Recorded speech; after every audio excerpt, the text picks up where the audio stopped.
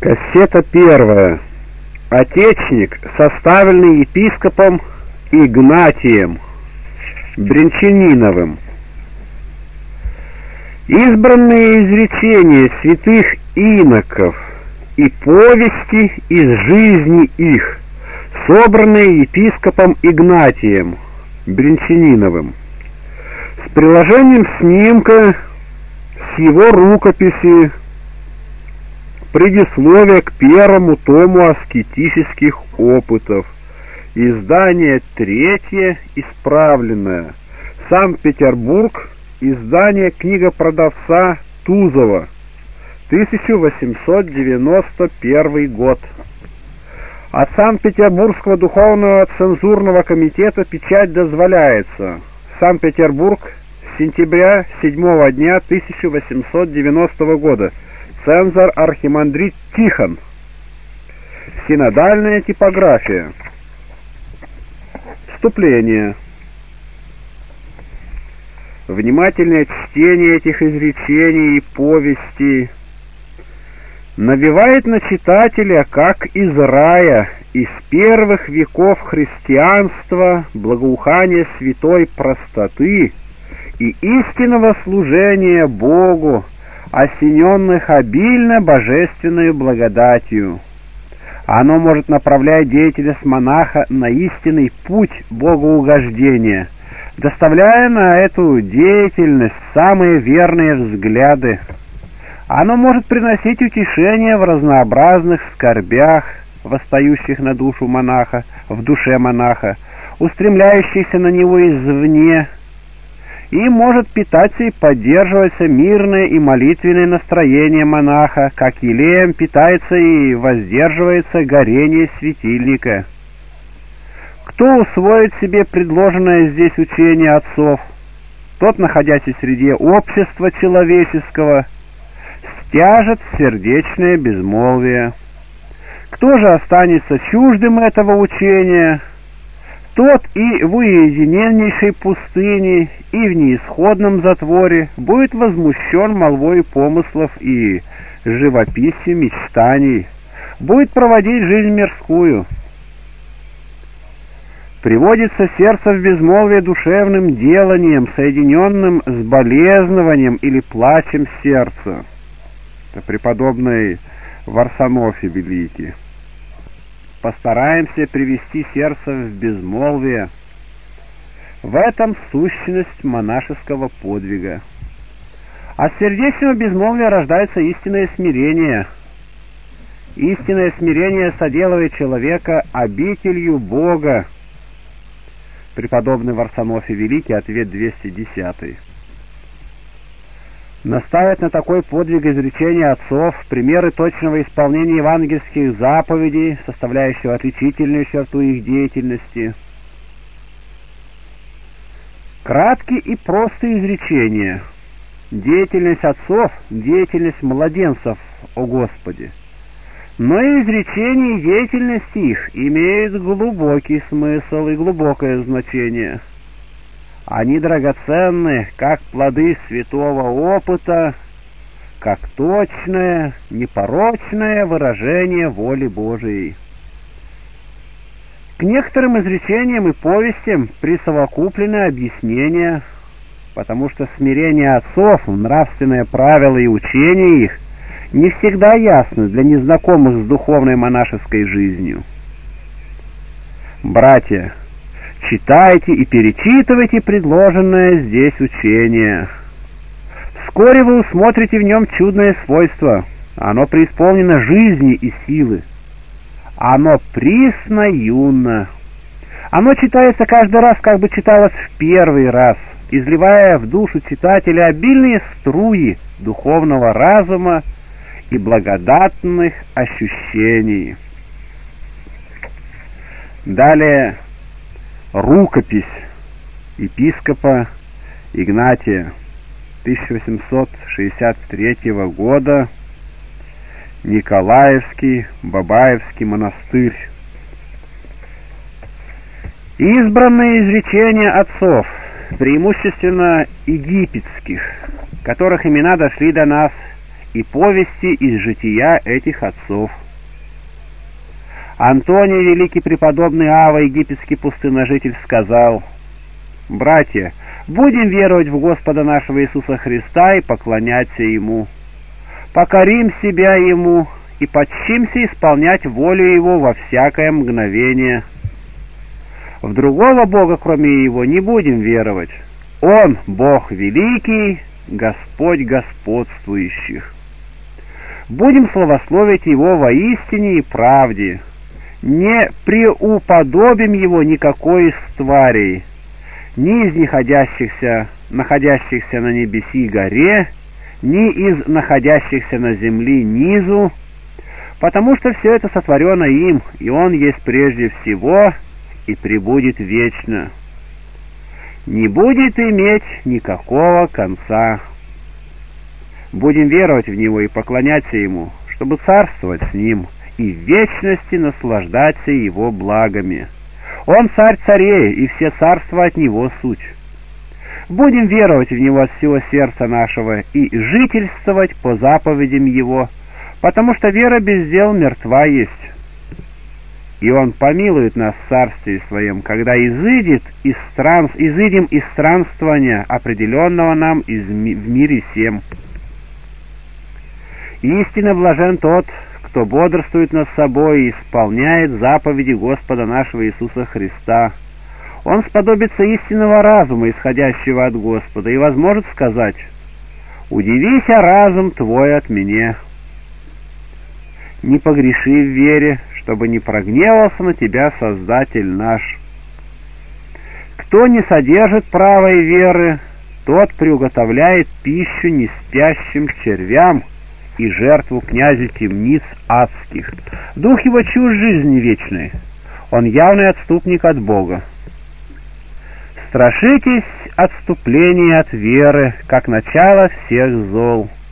Будем веровать во имя Господа Бога Отца и Сына, и Святого Духа, чтобы исполнилось над нами сказанное в Писании, те, которые веруют в Господа, они, как гора Сион, не подвигнутся вовек, живущие в Иерусалиме. Псалом 124.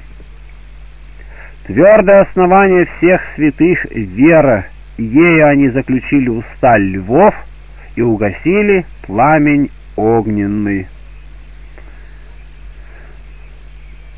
Сколько непостижимо сила и могущество Божие, столько непостижимы и действия Его. Как неизмерима Его премудрость, так и пути Его неисследимы. Может Бог исполнить то, что обетовал. Почему не допустим себе неверия, чтобы не подвергнуться осуждению более за неверие, нежели за беззаконные дела? Погрешить делами — это признак немощи допускать себе неверие — признак дерзкого легкомыслия и безрассудности. Доколе имеем время, пощадим самих себя и будем умолять Бога о прощении согрешений наших, чтобы Он не повелел, связавши нам руки и ноги, ввергнуть нас во тьму кромешную, в которой плач и скрежет зубов. Что означает плач и рыдание, как не безмерность жестоких и ужасных мучений? И что изображается скрежетом зубов, как не величайшее сожаление о соделанных грехах? Тогда, а это случится, наверное, тогда начнем негодовать на самих себя, раскаиваться, скрежеща зубами, когда покаяние не будет иметь места когда не будет от него никакой пользы, когда время, данное на покаяние, минует. Имея возможность умилостивить Бога в краткое время земной жизни служением Ему, имея возможность освободить себя от гиенны и вечных мук, Зачем пребываем в нерадении и, презирая заповеди Бога, служим нашим похотениям, подвергаем себя неизбежной казни. Бог наш великий и человеколюбец, богатый в милостях, всемогущий в действовании своем, сам, да поможет немощи нашей, да не спровергнет скоро сатану под ноги наши, да дарует нам силу и духовный разум, чтобы мы, в оставшееся нам время, послужили ему с верности, воистине, и сподобились милости его страшный день суда его. Великую силу имеет тот, кто подвязается в течение всей жизни и ежедневно до последнего издыхания находится в осторожности от искусителя, которым преследуется. Я молил Бога, чтобы Он показал мне ополчение, окружающее и защищающее монаха. И увидел монаха, окруженного светильниками. Множество ангелов с обнаженными мечами в руках охраняли его, как зеницу ока. И вот голос неба говорящий, «Не допустите ему покоя, доколе праведный живет в всем мире». Увидев такое ополчение отовсюду, объемлющее монаха, я вздохнул и сказал сам себе, «О, Антоний, все это дано монаху, и при всем этом превозмогает его дьявол. Монах нередко падает» и пришел ко мне глаз от милосердного Господа. Дьявол никого не может не спровергнуть. Такой власти он не имеет, потому что я пришел, восприяв на себя человечество, и стер в прах могущество его. Но человек сам своим похотением и сладострастием сокрушает себя и падает. Я сказал, неужели каждому монаху дана такая сила? И были показаны мне многие монахи, сподобившиеся ее. Тогда я воскликнул и сказал, «Блажен род человеческий, в особенности же множество, иноческое воинство, имея столь милосердного, столь человеколюбивого Бога». По этой причине озаботимся о спасении нашем, не будем пренебрегать им, чтобы удостоиться небесного Царства при содействии благодати и милосердия Господа нашего Иисуса Христа, которому с Отцом и Святым Духом да будет слава во веки. Здесь, с одной стороны, служит величайшим утешением свидетельства о обильной помощи Божией, поспешествующей каждому подвижнику благочестия, в особенности истинному иноку, за его особенное самоотвержение. С другой стороны, свидетельство о том, что во все время земного странствования рабу Божию не предоставлено успокоение, предоставлены борьба и подвиг, служит вразумлением, чтобы мы не предавались унынию, видя, что непрестанно подвергаемся разнообразным скорбям. Такова нас воля Господа Бога нашего будем совершать земное странствие наше в страхе Божием. Нам предписано служить Богу в страхе и трепете, и таким образом изработать спасение наше. Ничего не драгоценнее страха Божия в Господе нашем Иисусе Христе. Начало всех добродетелей и начало премудрости — страх Господень. Страх Господень — слава, благодать великая. Страх Господень искореняет из души все грехи и всякий вид лукавства. Свет, войдя в темный дом, изгоняет из него тьму и освещает его.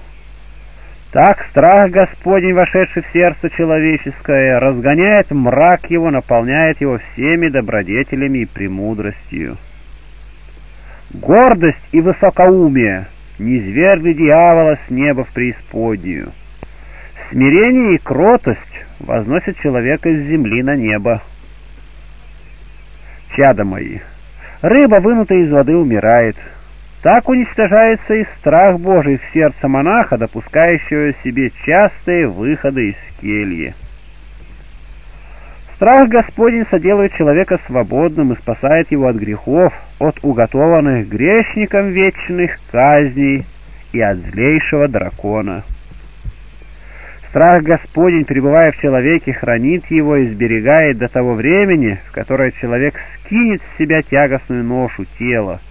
Тогда страх Господень соделает питомца своего наследником блаженства святых для радования с ними радостью вечную, как и Писание возвещает, страха ради Твоего, Господи, в чреве, прияхом и поболехом, и родихом дух спасения Твоего. Исайя 26, 18. Страх Господень и памятование смерти да будут непрестанно пред очами нашими. Возненавидим мир и удалим от себя все, чем приносится плоти нашей наслаждение. Эту краткую жизнь проведем так, чтобы нам жить в Боге, который потребует от нас отчета в день суда. Алкали ли мы, жаждали ли, претерпевали ли наготу, пребывали ли в плаче, воздыхали ли из глубины сердец наших, рассматривали ли себя, достойны ли мы Бога. Будем погружаться в плач и сетование, чтобы обрести Бога. Презрем плоть для спасения душ наших. Делание монаха, превосходящее все другие, самое возвышенное делание его, заключается в том, чтобы он исповедовал грехи свои пред Богом и своими старцами, чтобы укорял себя, чтобы был готов до самого исхода из земной жизни встретить благодушно всякое искушение. От постоянного исповедания грехов пред Богом и отцами открывается зрение греховности своей. Напротив того, грехи неисповеданные как бы не признаются грехами и удобно повторяются. Постоянным самоосуждением и самоукорением усиливается сознание и ощущение греховности. Вполне ощутивший греховность свою и сознавшийся в ней, естественно, признает себя достойным всякого попустительного наказания от Бога. Будьте мужественны и вместе великодушны. Бог пребывает в человеке великодушном. Великодушный соответствен воле Божией во всякое время – Святые соединены с Богом простотою своею. Простоту найдешь в человеке, исполненном страха Божия. Имеющий простоту совершенный подобен Богу, благоухает он благоуханием сладчайшим и благодатным. Исполнен он радости и славы, покоится в нем святый дух, как в своей обители. Как густой лес, когда не брегут о нем, истребляется пожаром, так лукавство, будучи допущено в сердце, губит душу, вместе оскверняет тело, приносит многие нечистые помыслы. Насмехается лукавый над простыми и всеми добрыми. Сердце его объемлется многочисленными сквернейшими помышлениями, насеянными дьяволом, понуждающими ум скитаться повсюду, возбуждающими в душе внутреннюю борьбу. Гордость сердца ненавистна Богу, ангелам и святым Его. Имеющий в себе гордость — причастник дьяволу. По причине гордости преклонились небеса и поколебались основания земли, возмутились бездны, пришли в смятение ангелы и притворились в демонов по причине гордости сердца. Прогневан гордостью всемогущий, Повелел он бездне низвергнуть из себя огонь, и огненному морю воскипеть огненным волнением. По причине гордости он учредил ад и муки. По причине гордости учреждены темницы и биения, которыми терзается дьявол за гордость сердца своего. По причине гордости устроена преисподняя, сотворен червь неумирающий и неусыпающий. Будем подвязаться о чистоте даже до смерти и храниться от всех нечистот, которые не свойственны естеству, по словам первенца между пророками Моисея. В особенности будем остерегаться от дела разврата. Ангелы пали и извернуты из своего состояния славы и чести, дозволив очам недозволительное воззрение. Нет ничего хуже, как смотреть с вожделением на женщину. Это мнение великого Антония, посвященного деснице Божией в тайны мира духов, неудобно понятно для чуждых такого познания. Но Священное Писание свидетельствует, что падший дух любил женщину и убил семь юнош за которых она поочередно выходила замуж. Тавид 6.15. Некоторые из падших духов столько преданы плотскому вожделению, что от него заимствовали свой характер. Они именуются блудными бесами, в отличие от других бесов, преданных другим страстям. Коринфянам 6.18.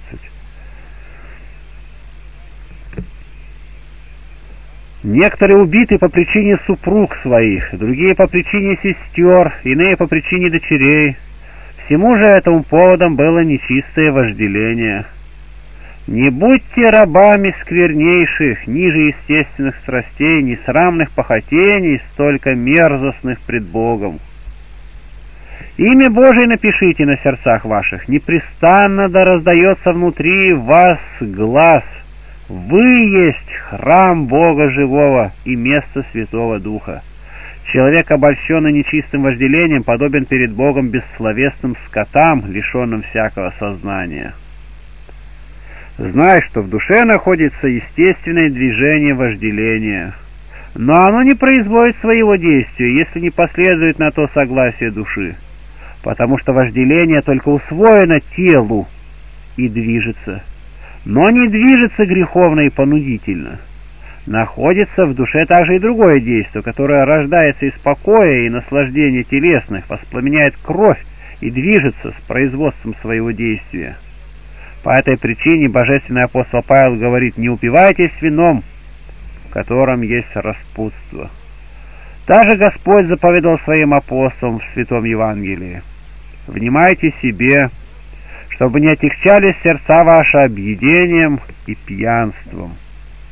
Кроме этих двух движений имеется еще движение, которое возбуждается в подвижниках от зависти и коварства демонов. Итак, надо знать, что возбуждение телесного вожделения бывает троякое, а одно естественное, а два другие превходящие. Из этих двух одно происходит от излишества в пище и питьи, другое производится демонами. Зависть, следовательно, от нас, от нашего свободного произволения, исполнения и отвержения требований и вожделения. Сведения, сообщенные здесь Великим Антонием, имеют особенную важность для каждого монаха, внимающего своему спасению. В первом случае должно с трезвением наблюсти за собою, не позволить себе никаких размышлений и мечтаний сладострастных, которым является расположение при движении телесного вожделения, и оно прекратится само собою. Во втором должно обратить внимание на качество и количество пищи, также на количество сна, обуздать действие вожделения воздержанием. Действие демонов познается из усиленного, иногда внезапного и кратковременного, иногда постоянного и продолжительного нашествия блудных помыслов и мечтаний – покушающихся привлечь ум в общение с собой и возбудить в теле вожделение, которому тело, усмиренное подвигом, не склонно или мало склонно. Потому-то святой Антоний говорит, что последнее случается не с кем иным, а именно с подвижниками. Тогда нужно осмотреться, не осуждение ли братья, не вкравшееся ли самомнение дают повод демонам искушать блудом неспособного к блуду.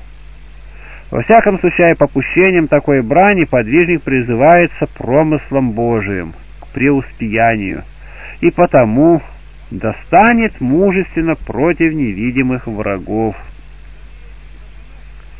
Если случится кому по наущению дьявола подвергнуться падению, тот да восстанет покаянием — да прибегнет к тому, который не шел на землю для спасения одной овцы, увлеченной грехом в заблуждение.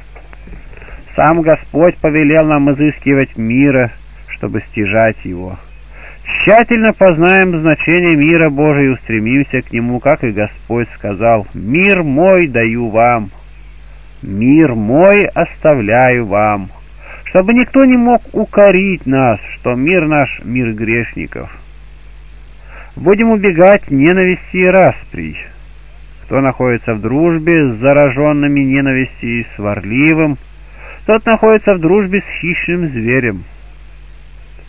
Точно доверяющий себе себя зверю безопаснее того, кто доверяет себя сварливому и зараженному ненавистью.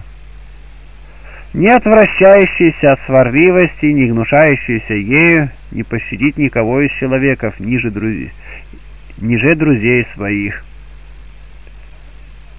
Господствуй над языком и не умножай слов, чтобы не умножить грехов твоих. Наложи перст на уста твои и узду на язык твой. Многоглаголевый человек никогда не оставит в себе место во обитель Святого Духа. И ночью и днем да обращается в устах твоих имя Господа, и будь заслажден духовной солью.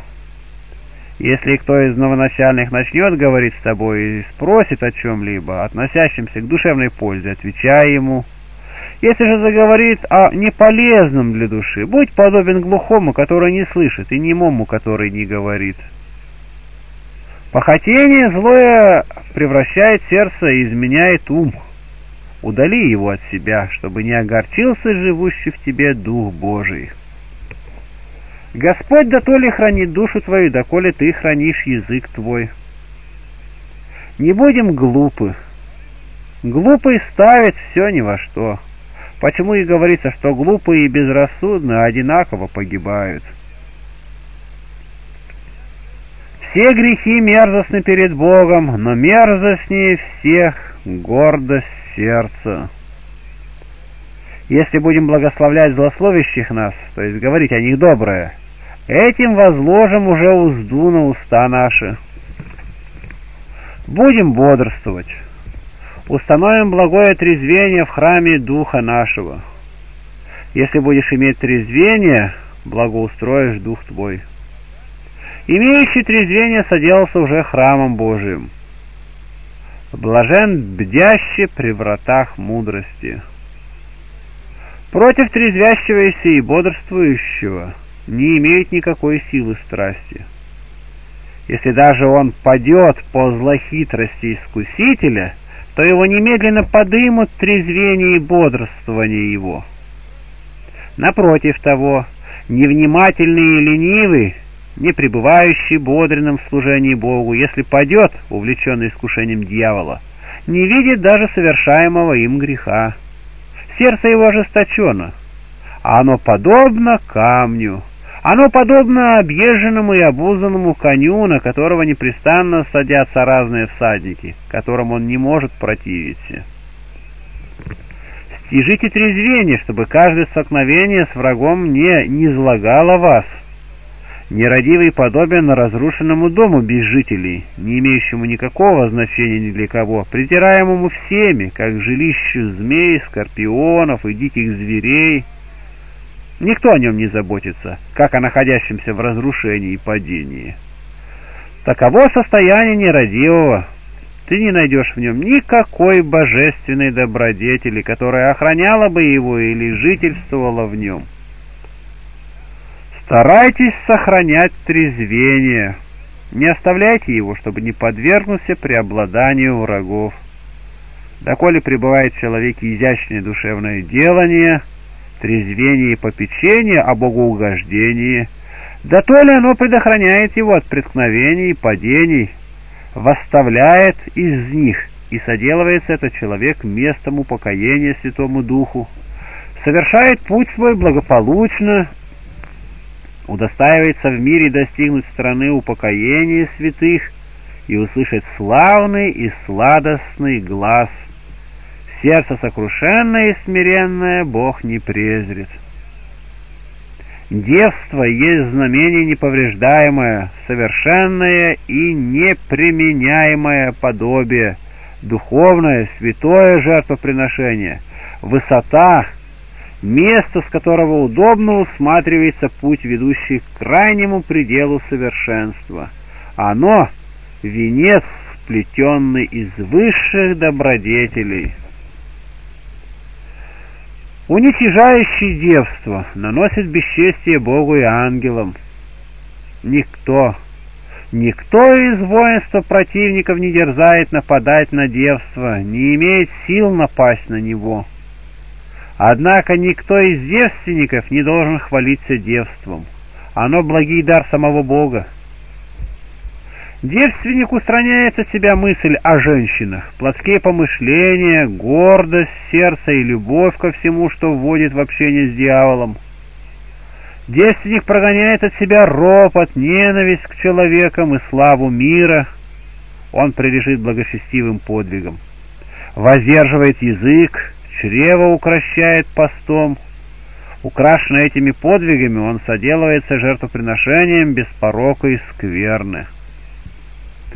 Смерть обитает в том, у кого язык, меч обоюдоострый. Таковой вступил в союз с вечной смертью и приготовил себе погибель и жилище в аде. Он не будет иметь наследия в земле живых, творящих волю Божию. Рассмотри и найдешь, что человек двоязычный губит душу свою, смущает знакомых и друзей, расстраивает общество — содействует совершению всякого зла и принимает в нем участие, непрестанно устрояет ближнему козни. Удаляйтесь, возлюбленные братья, от двуязычного. Никак не вступайте в дружбу с ним. Вступивший в дружбу с ним вместе с этим подчинился смерти. Пункт 40. Лукавый человек, во-первых, обманывает свою собственную душу. Лукавство его обращается на главу его, как написано в псалмах. Обратится болезнь его на главу его, и наверх его неправда его снидет. Не своди знакомство с человеком лукавым. Дружба с лукавым, дружба с дьяволом. Псалом 7.17. Настанет некогда время, и человеки вознегодуют, увидев неповерженного общей болезнью неподверженного, восстанут на него, говоря, «Ты по преимуществу находишься в недуге, потому что не подобен нам». Страница 11.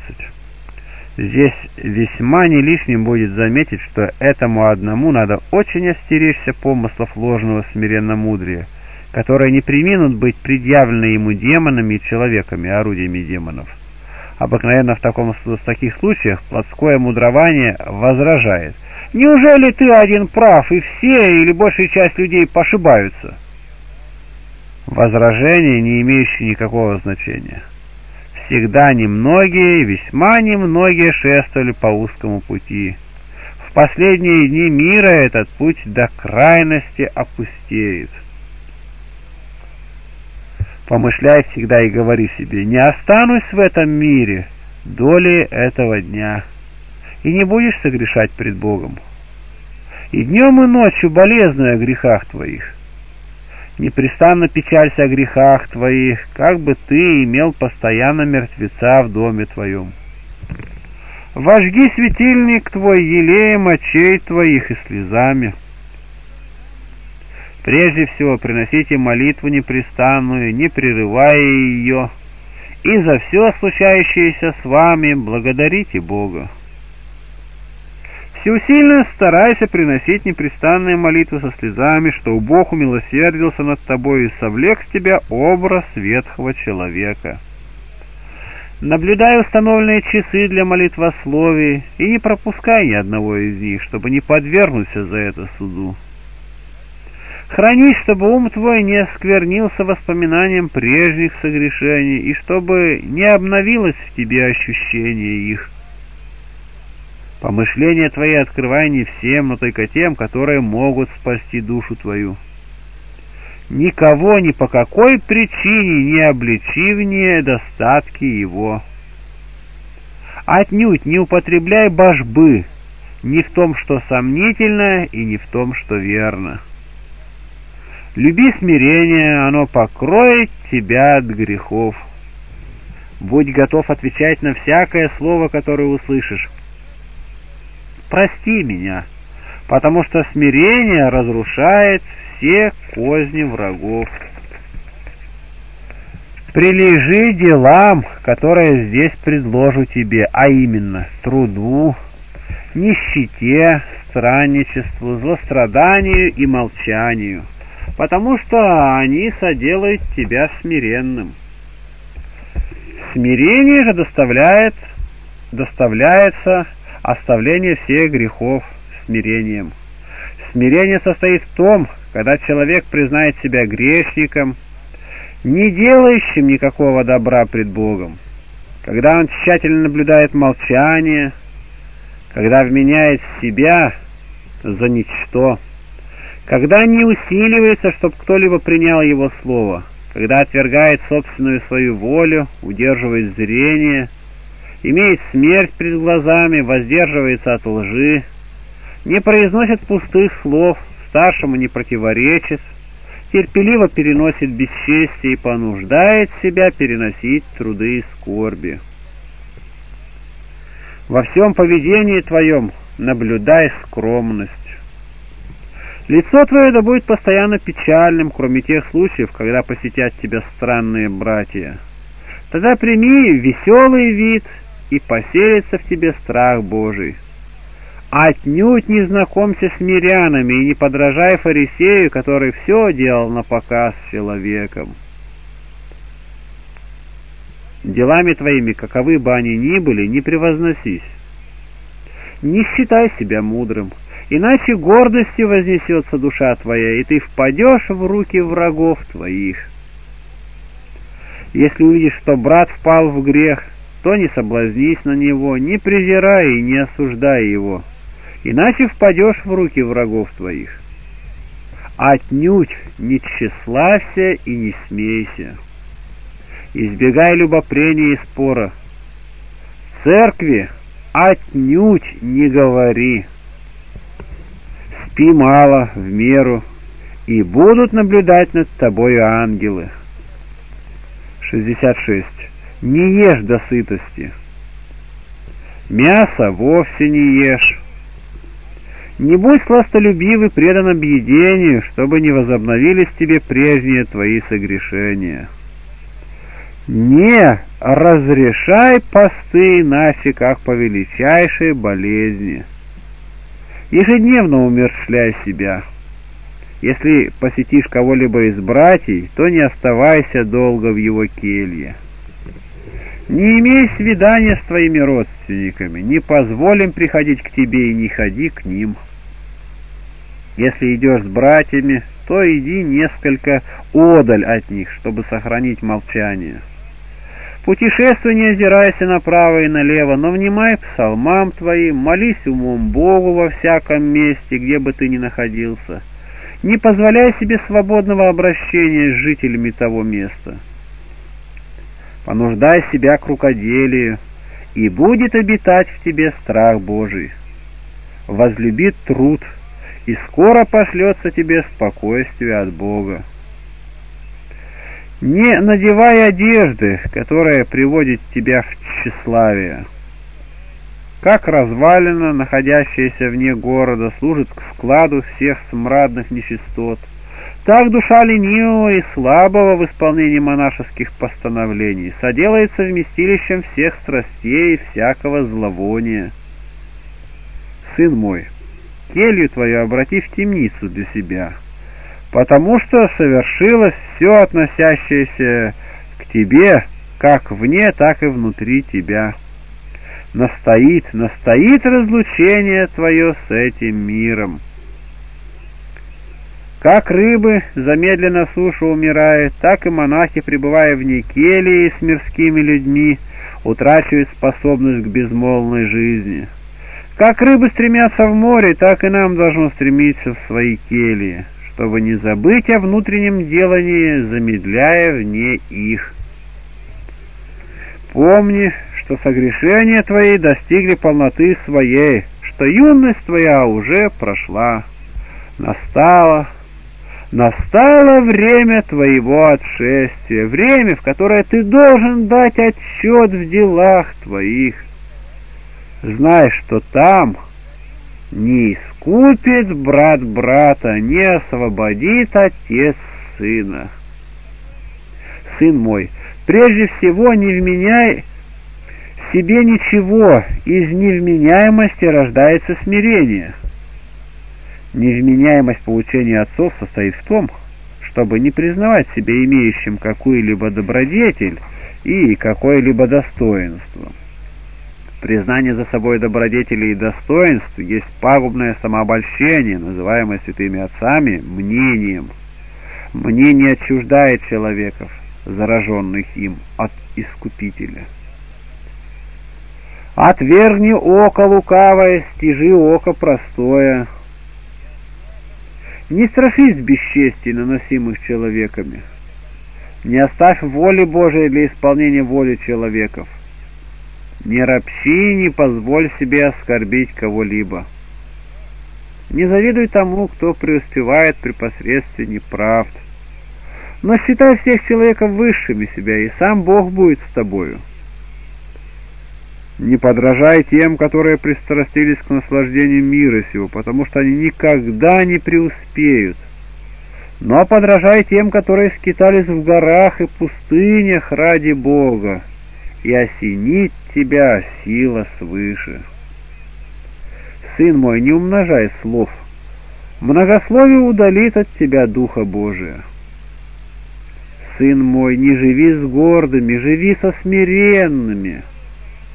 Не будь лицемером или притворщиком, не будь лжецом, не говори с гневом, да будут слова твои так, как в молчании твое исполнено благоразумие и мудрости.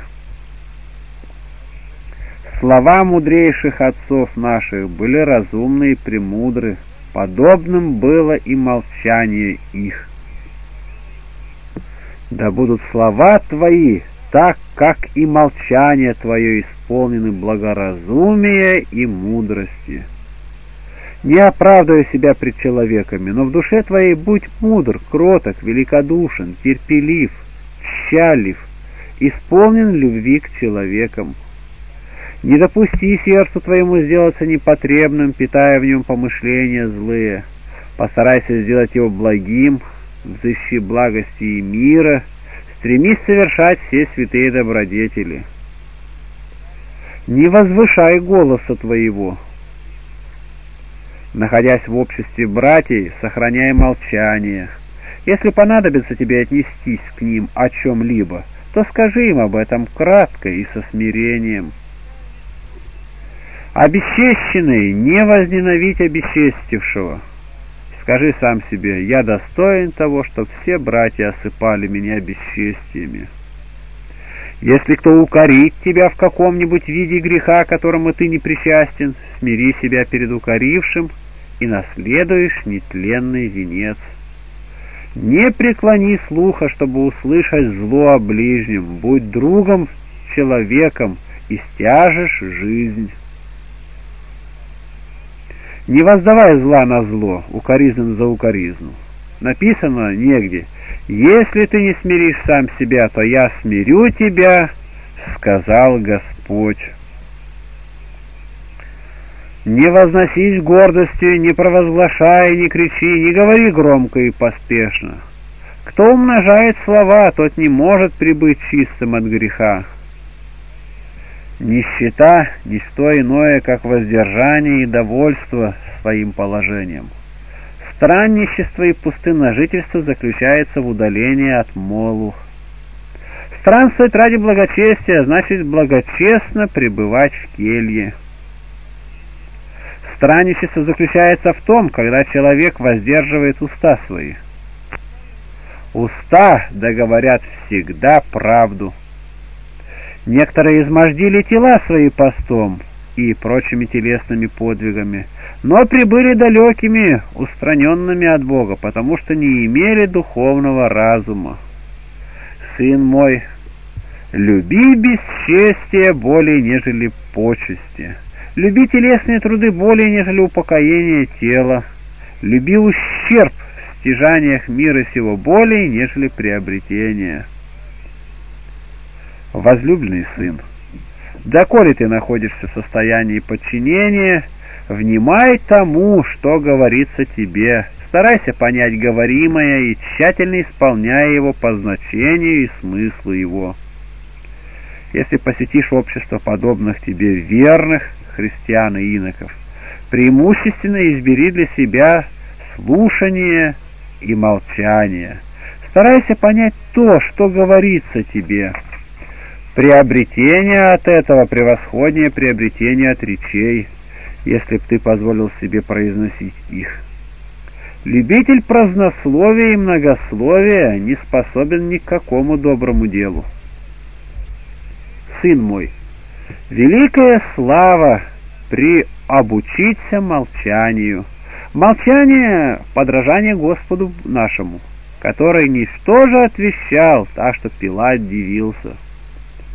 Чада мои, есть нечестие, которое было выше того нечестия, когда человек наносит скорбь ближнему и возносится над ближним. Язык твой да руководится разумом твоим. Слова произнесены необдуманно, волчцы терния. Никому не предлагай того, никого не учи тому, чего прежде сам не исполнил на деле. Молитва, совершаемая с небрежением и леностью, празднословие. Отступи, ускори это сделать от человеков, чуждых благоразумия и духовного разума. Если изучишь какие-либо добродетели, не хвастай, не говори, то и то я сделал и исполнил. Такое хвастовство — признак величайшего неразумия. Муж мудро основательно знает значение обстановку пути своего. По этой причине он не спешит говорить, но выжидает и рассматривает, что следует ему сказать и что выслушать, напротив того, невоспитанный правильным иноческим воспитанием, не останавливается объявлять даже поверенные ему тайны. Тому, кто не внимает словам твоим, не говори их, Друзей твоих предварительно подвергай испытанию и не своди со всеми близкого знакомства. Если заведешь обширное знакомство, не доверяй всем, потому что мир сквашен на лукавстве. В друга себе избери одного брата, боящегося Господа, и прилепись к Богу, как сын к отцу, потому что все человеки, за исключением немногих, предались лукавству. Земля преисполнилась суетности, попечений и скорбей. Если любишь безмолвие, не примешивай из себя к тем, которые сердце которых всецело устремлено к суетности.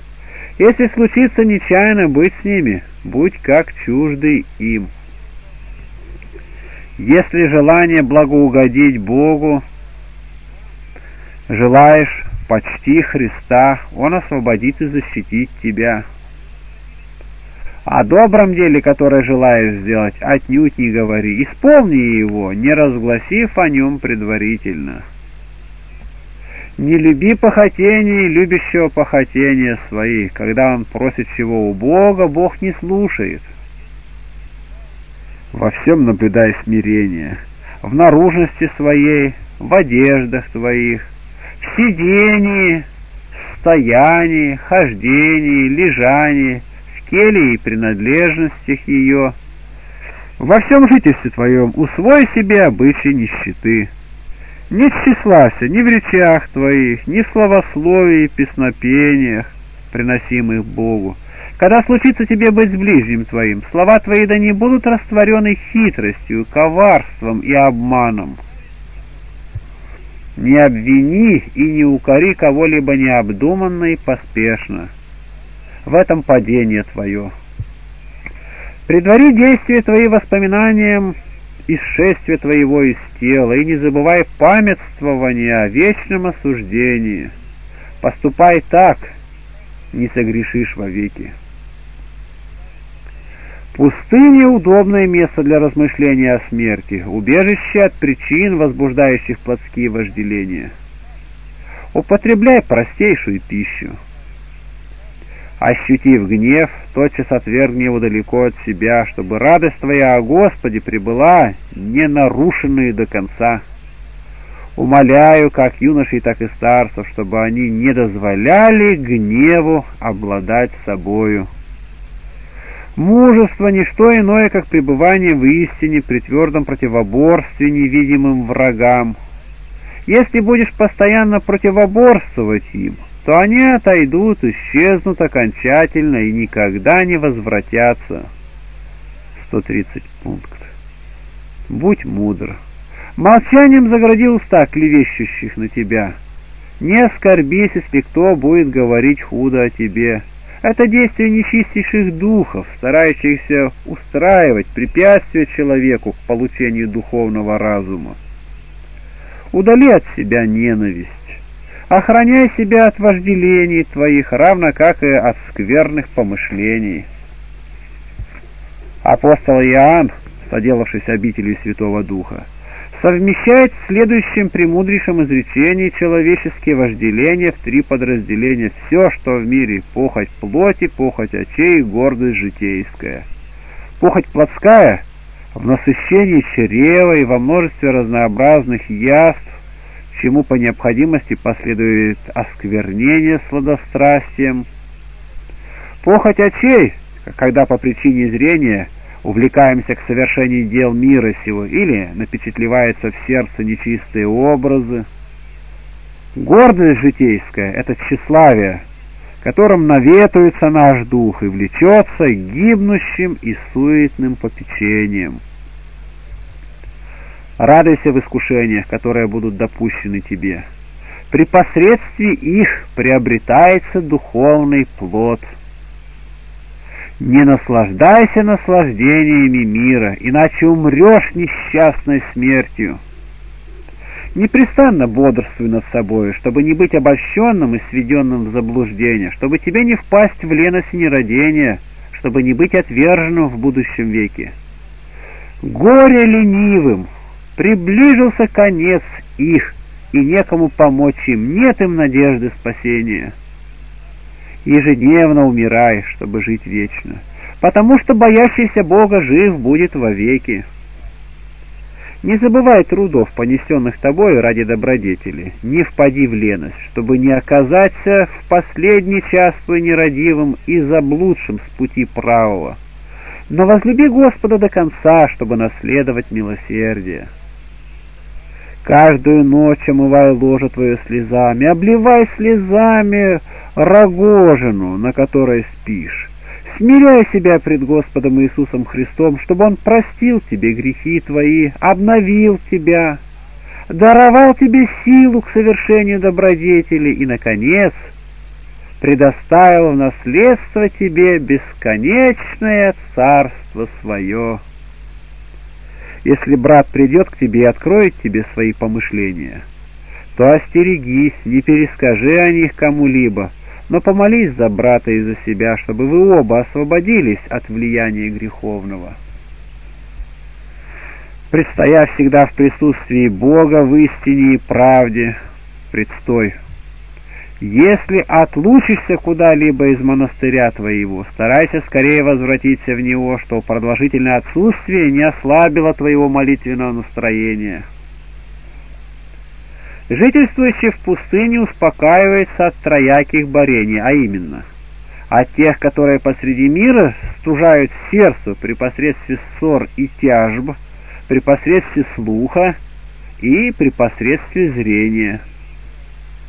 Инок, желающий спастись, да не входит в свой мирской дом, да не живет в том городе, в котором согрешил да не дозволяет он себе свиданий с родителями и прочими ближайшими родственниками, потому что от этого зарождается повреждение в душе и утрачивается плод жизни. Не дозволь себе разделить трапезы с женщиной и никак не сведи близкого знакомства с отроком. Будучи здоров, не разрешай пояса твоего. Древние иноки так строго бодрствовали над собою — что даже ложились на одр для краткого отдохновения одетыми и припоясанными. Этот обычай сохранился поныне в некоторых монастырях Афона. «Не возьмись за руку ближнего твоего и не прикоснись к коленям его. Не дозволь себе нарушить божественные заповеди ради дружбы человеческой. Тщательно прилежи чтение Писания» это извлечет тебя из порочной жизни. Безмолвствуя в келе твоей, занимайся рукоделием. Притом не оставляй моления именем Господа Иисуса, а обращай это имя в уме твоем, поучайся ему в сердце, восхваляй языком, говоря, «Господи Иисусе Христе, помилуй меня, Также, Господи Иисусе Христе, помоги мне. Также, славословлю Тебя, Господь мой, Иисус Христос. 150. Возлюби труд. Он в соединении с постом, молитвой и бдением освободит тебя от всех скверн. Телесный труд доставляет сердцу чистоту. Чистота сердца служит причиной того, что душа приносит плод. Страница 120. Отнюдь не суди ни о ком, но пребывай в плаче о грехах твоих. Остерегись рассердиться на кого-либо, прощай всем. Прочь ложь! Она изгоняет из тебя страх Божий. Удали от себя греховное помышление и предай себя Богу, который защитит тебя десницей своею. Не открывай помышлений своих всем, чтобы не ввести брата твоего в соблазн. Люби смирение, оно покроет все грехи твои. Не будь непослушен, иначе соделаешься орудием и сосудом всех зол и всякого нечестия. Имей постоянным залогом в сердце твоем послушание Отцу твоему, и будет обитать в тебе страх Божий. Не злословь брата твоего, хотя бы ты видел его приступающим все заповеди, иначе сам впадешь в руки врагов твоих. Прежде содеянных грехов не укрепляй в душе твоей размышлением о них, чтобы они не возобновились в тебе — Будь уверен, что они прощены тебе с того времени, как ты предал себя Богу и покаянию. В этом не сомневайся. Не считай себя ученым и премудрым, иначе погибнет труд твой, и корабль твой совершит тщетное плавание. Переучись, чтобы язык твой говорил при всех встречающихся случаях, всегда, во всякое время всем братьям и самому Всевышнему Богу, прости меня». Если будешь всегда говорить «прости меня», стяжешь смирение. Не осуждай никого, чтобы не отступил от тебя страх Божий, и ты не был предан в руки невидимых врагов. Возделений твоих и удовольствий этого мира, которым ты предавался во время нерадивой жизни твоей, не вспоминай и не говори о них. Не скажи «я сделал то и то», я приступил ту и ту заповедь. Это послужит тебе во вред. Безмолвствуя в келе, приложи, прилежи к следующим трем занятиям. К чтению Писания, к молитве и к рукоделию. Непрестанно и тщательно пребывай в покаянии, ни одной минуты не приноси в жертву лености смиренный со слезами проси Отца Твоего, не стыдясь это делать, чтобы Он поучил тебя тому, чего ты не знаешь. При наступлении каждого дня устраивай себя так, как бы этот день был последним в твоей земной жизни, и сохранишь себя от грехов. Знай, смирение состоит в том, чтобы ты признавал всех человеков лучшими тебя — и был удостоверен в душе твоей, что ты более всех обременен грехами. Главу твою держи опущенной, язык твой да будет всегда готов сказать укоряющему тебя, «Владыка мой, прости меня». Предметом же постоянного размышления твоего да будет смерть. О делах мира сего отнюдь не говори. Похотений и желаний твоих не исполняй, а отгони от себя гордость ближнего твоего и всех человек признавай лучшими тебя. Грех, соделанный тобою, не скрой от духовного отца твоего. Пустых слов не произноси и не слушай произносящего пустые слова, чтобы ими не запечатлелась душа твоя. Убегай стремления к собранию имущества, убегай непокорности — еще более убегая объедения, чтобы не увязнуть в сети плотского вожделения. Объедением отъемлется страх Божий у сердца и благоразумие скромности у лица. Подвижник подчиняется постыдным и скверным страстям, ум отчуждается от Бога. не тщеславься. Не обращай в сердце хвастливых мыслей, не произноси хвастливых слов. Я сделал то и то, я понес такие и такие трудности. Я не обеспокоил и не потревожил никого. Всем этим вводится тщеславие, и тот, кто заражен такими и подобными помышлениями, соделался жилищем дьявола и нечистых духов. Помышления твои всегда довращаются в божественных заповедях. Исполнять их старайся всеми силами, не упускай ни одной из них. Не порицай никого из смертных, чтобы молитвы твои не соделались мерзостными пред Богом.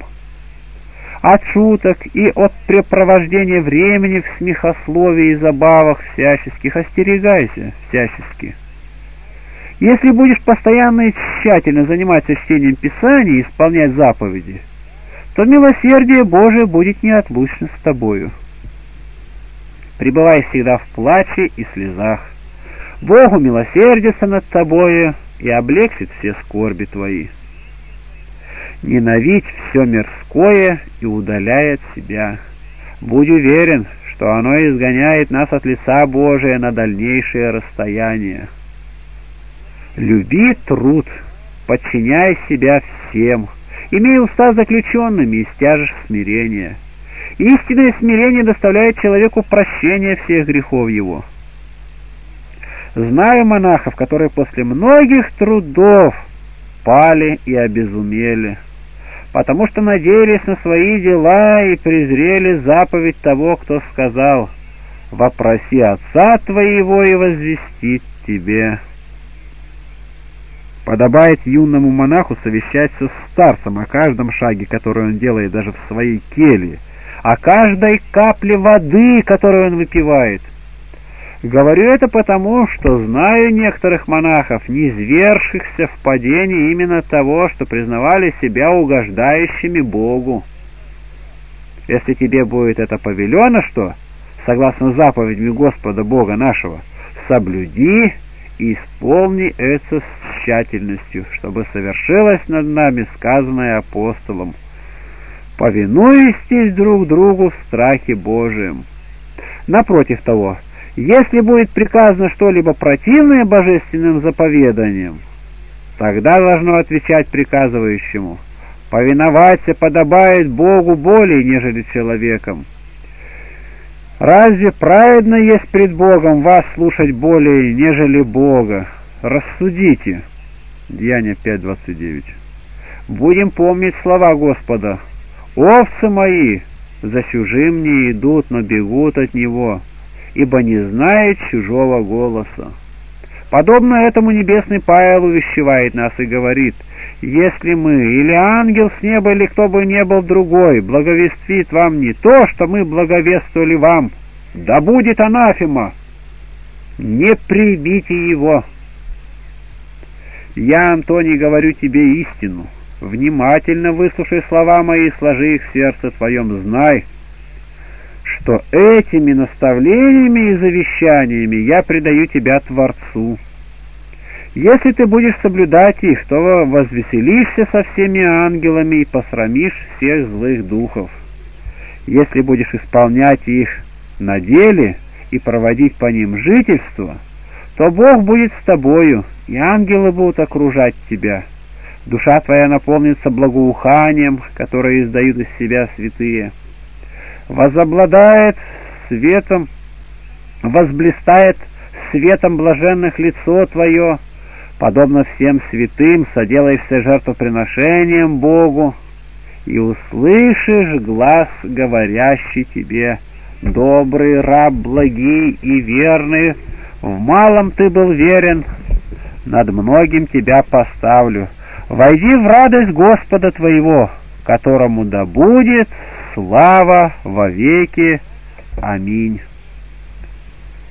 187 Брат спросил святого Антония, «Что делать мне, чтобы очиститься от грехов моих?» Старец отвечал, «Желающий освободиться от грехов, плачем и рыданием освобождается от них. Желающий стяжать добродетели плачем и слезами, стяжевает их.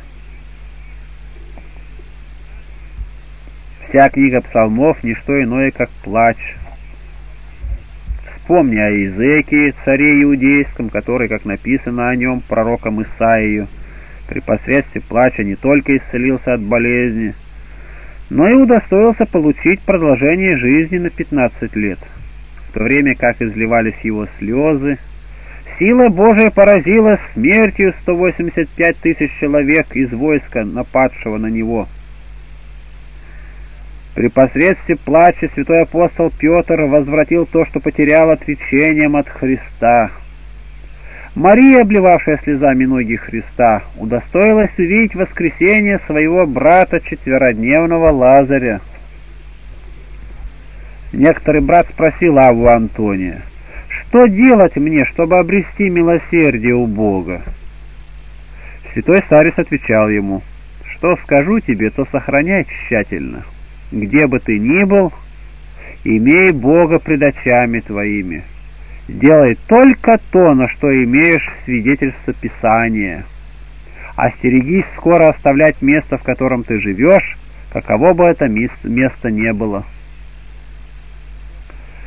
Из ответа преподобного Антония видно, что Священное Писание издревле признавалось основным руководством для монашества – только те советы и те наставления старцев принимались за правила жизни, которые были согласны с священным писанием.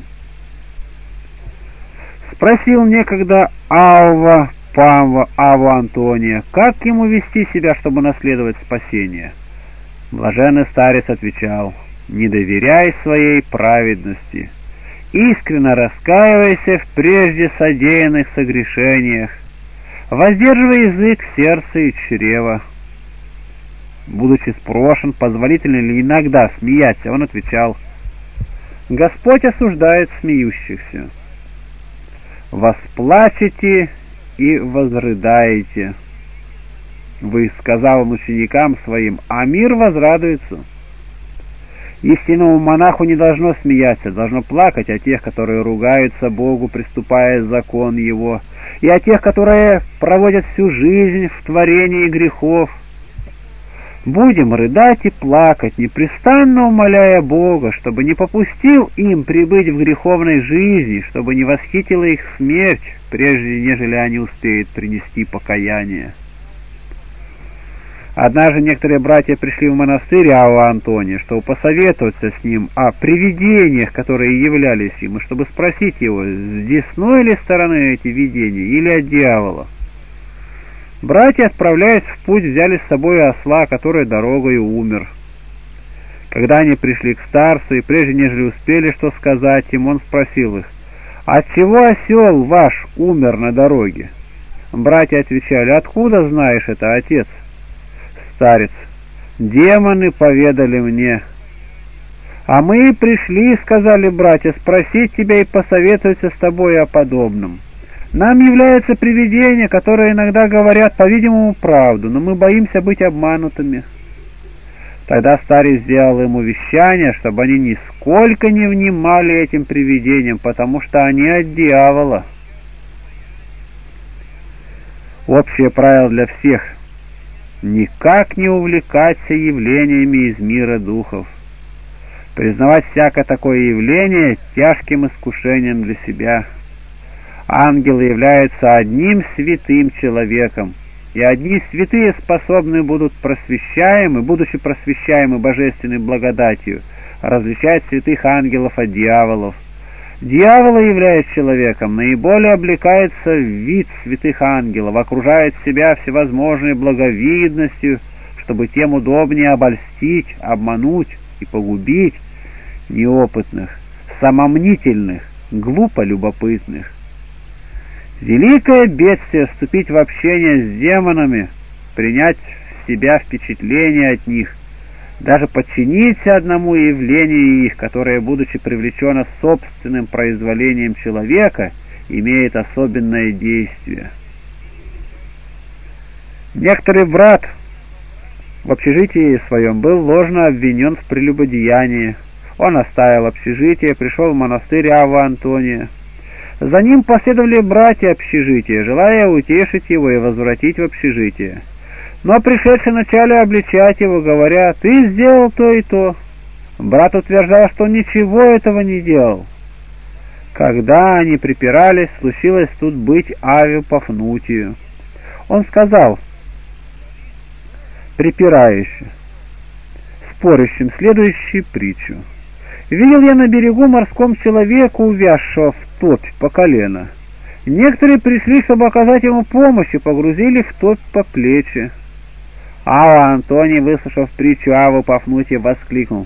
«Вот муж, могущий исцелять и спасать души!» Братья пришли в умиление от сказанного старцами, начали просить прощения у брата, взяли его обратно с собой в общежитие.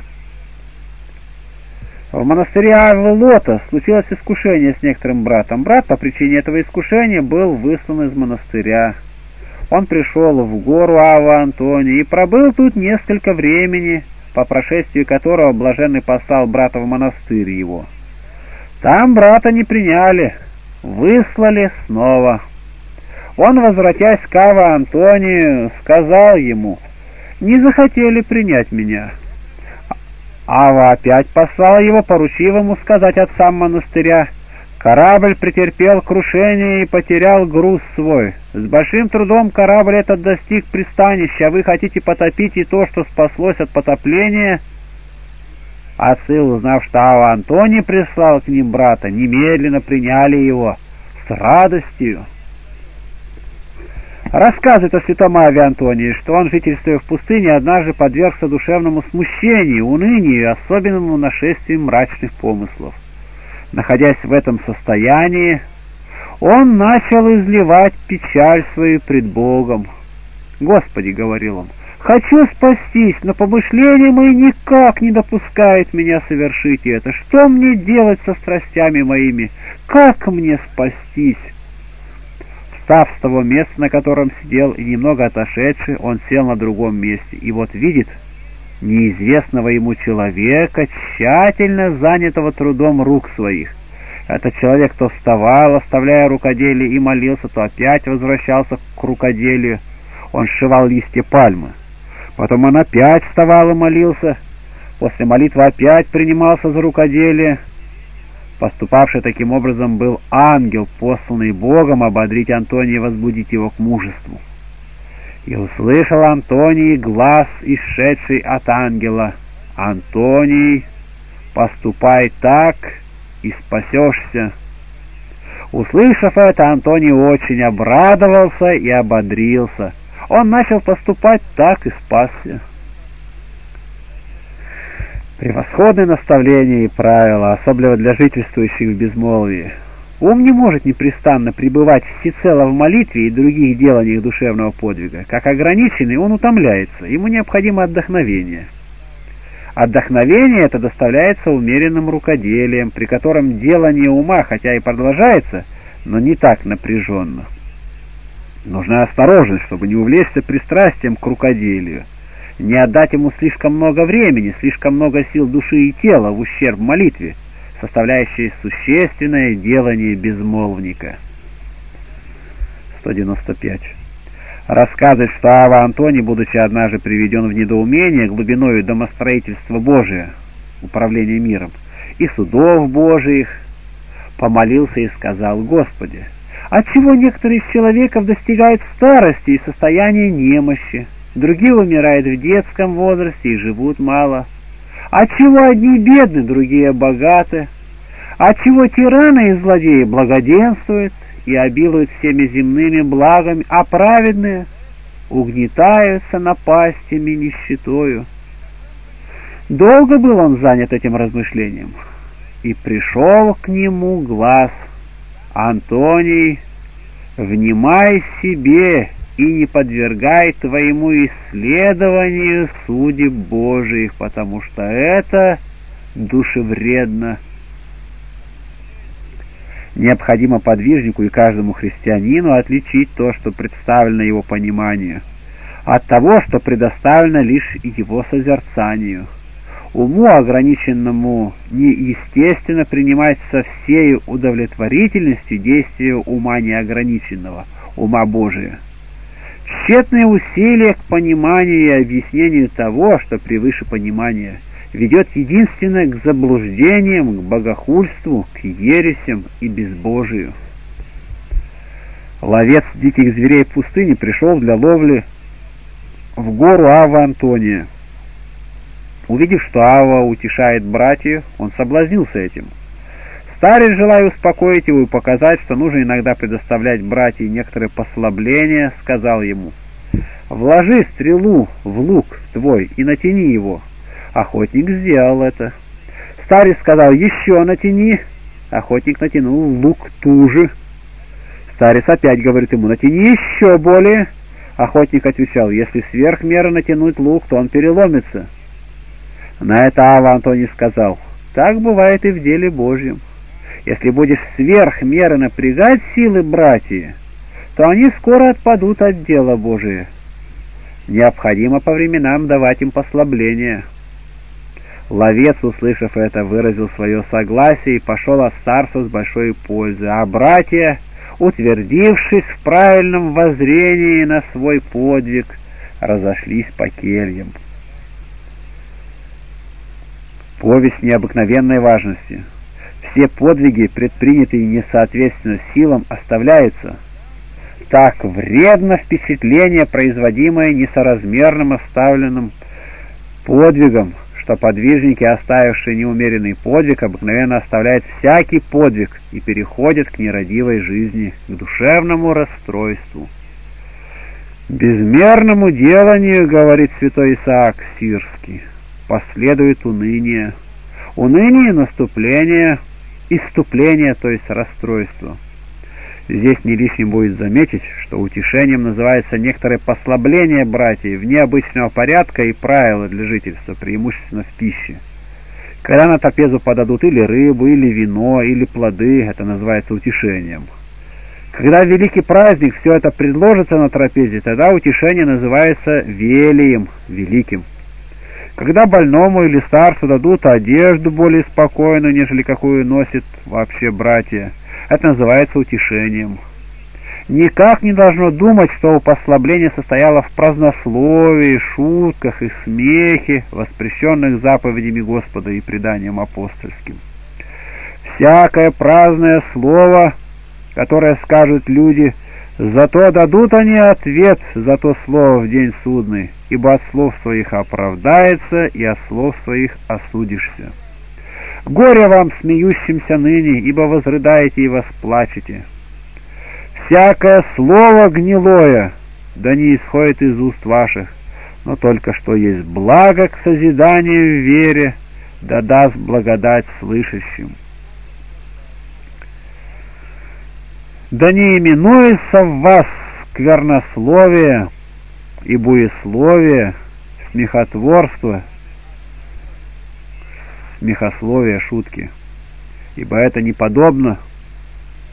Плач — жизнь монаха, рождает его мысль сознания своей греховности, мысль покаяния. По этой причине празднословие и смехословие, как истребляющий плащ в самом корне его, в святых мыслях покаяния, как уничтожающие сущность и весь плод монашеского жительства, строго преследовались и преследуются во всех благоустроенных монастырях.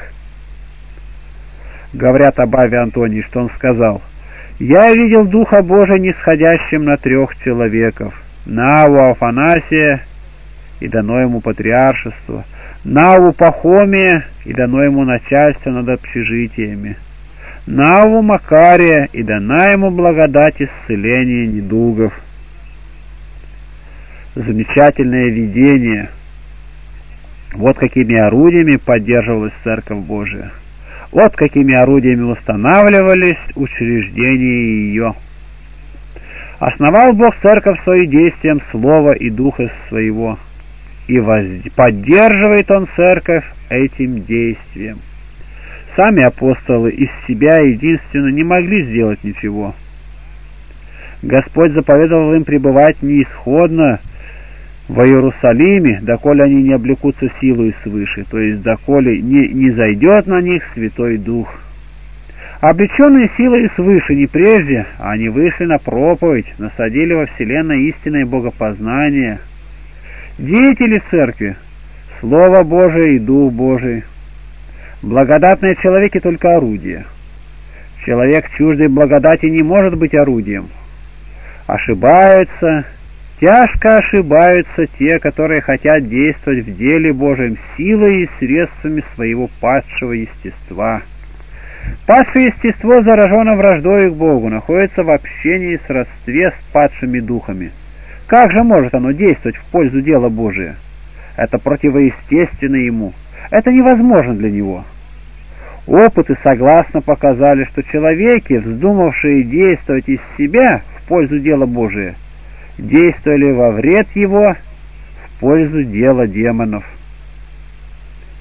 Однажды пришли старцы к Аве Антонию, между ними был и монах Иосиф. Старый, желая искусить их, завел речь от Писания и стал спрашивать объяснения у каждого, начиная с младших. Каждый давал объяснение по своему разумению, а старец находил объяснение каждого неудовлетворительным. Потом, обратясь к монаху Иосифу, сказал ему, «Ты как объяснишь это слово Писания?» Иосиф отвечал, «Я не знаю». Тогда Ава Антоний сказал, Однако монах Иосиф нашел тот путь, на котором говорят «не знаю». Святые наставники иноков, желая, чтобы Священное Писание служило всецелым руководством в монашеском жительстве, вместе тем желали, чтобы иноки, зная его по букве, наиболее изучали делами, особливо смирением. Это видно в житии преподобного Досифея, Иоанна Дамаскина и других. Однажды блаженный Антоний молился в келье своей, и был к нему глаз «Антоний, ты еще не пришел в меру кожевника, живущего в Александрии». Услышав это, старец встал рано утром и, взяв посох, поспешно пошел в Александрию.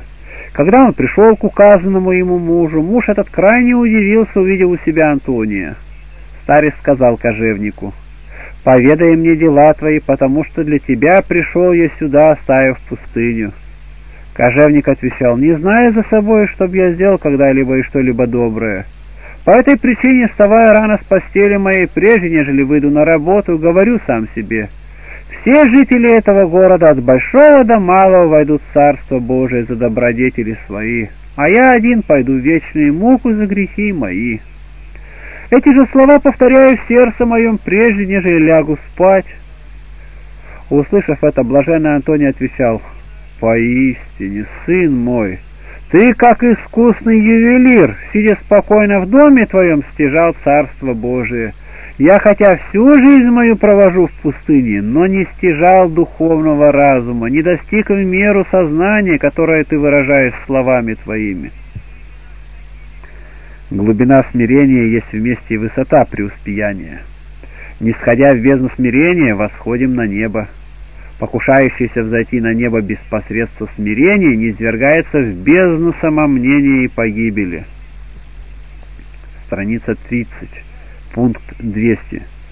Однажды некоторые ученики божественного Ава Антония, видя в пустыне бесчисленное множество монахов, прилежащих с великой ревностью по Боге и с соревнованием друг другу всем добродетелям и святым подвигам, спросили его, «Отец, долго ли будут продолжать все эти ревности и усердия к уединению, к нищете, к смирению, к любви, к воздержанию и ко всем прочим добродетелям, которым так тщательно прилежит все это множество монахов, почти без исключения. Муж Божий так отвечал им, воздыхая и проливая обильные слезы.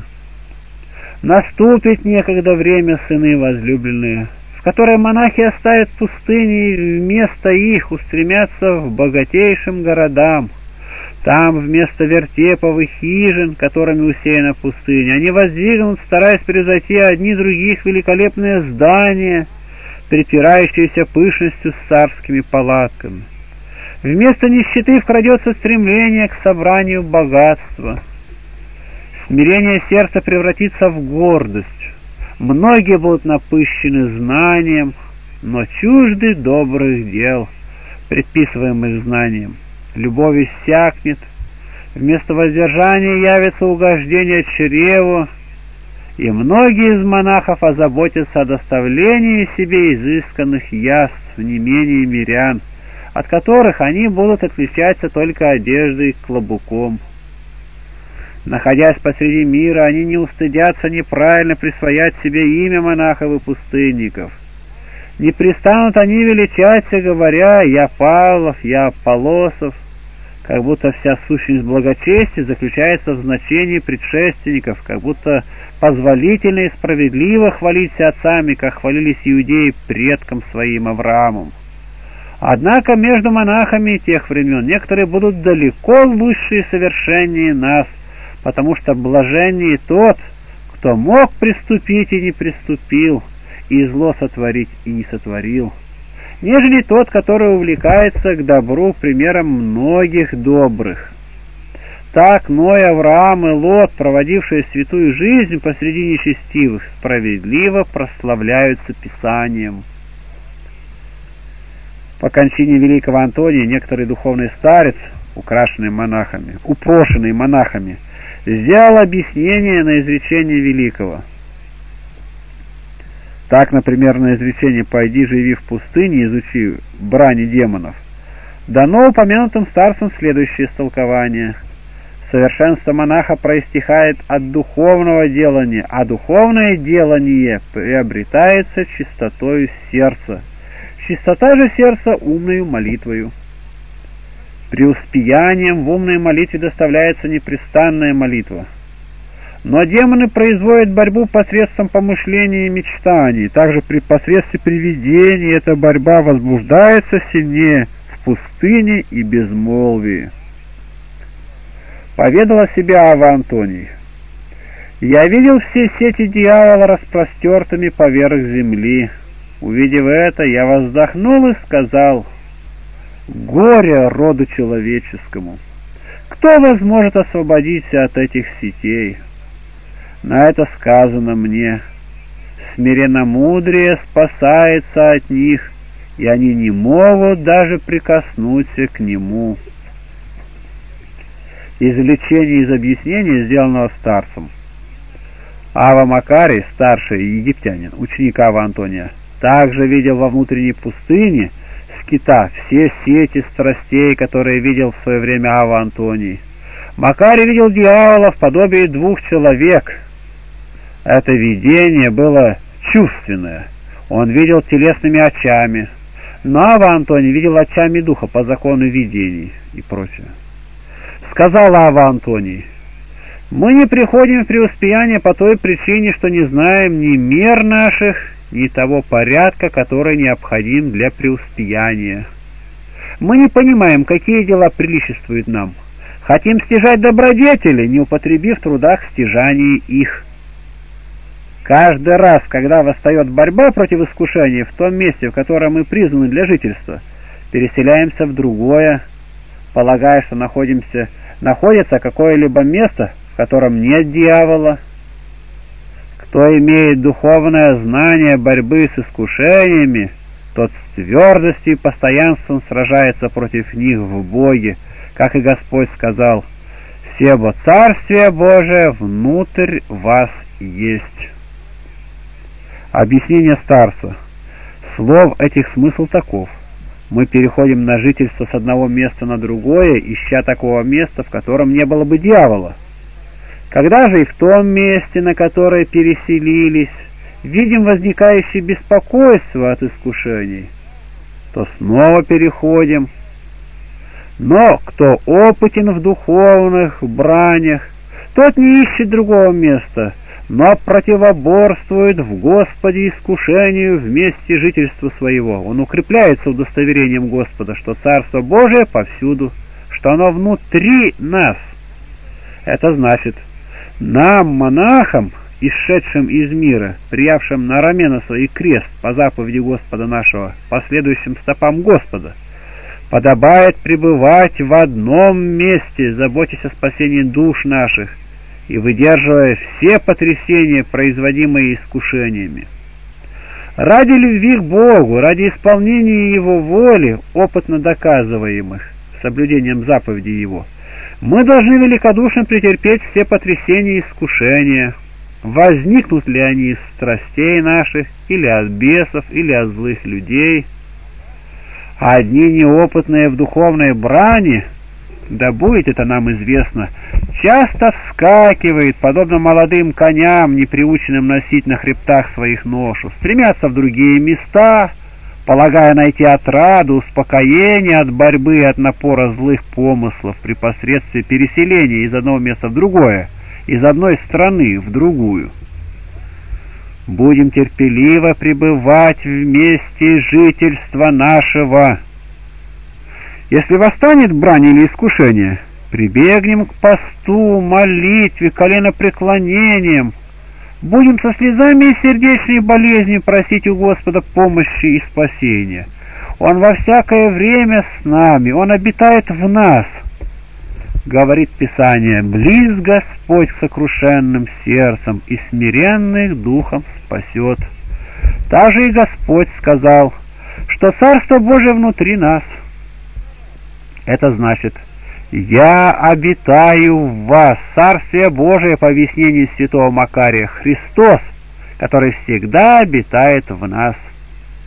Блаженный Павел сказал, «Или не знаете, что Христос в вас?»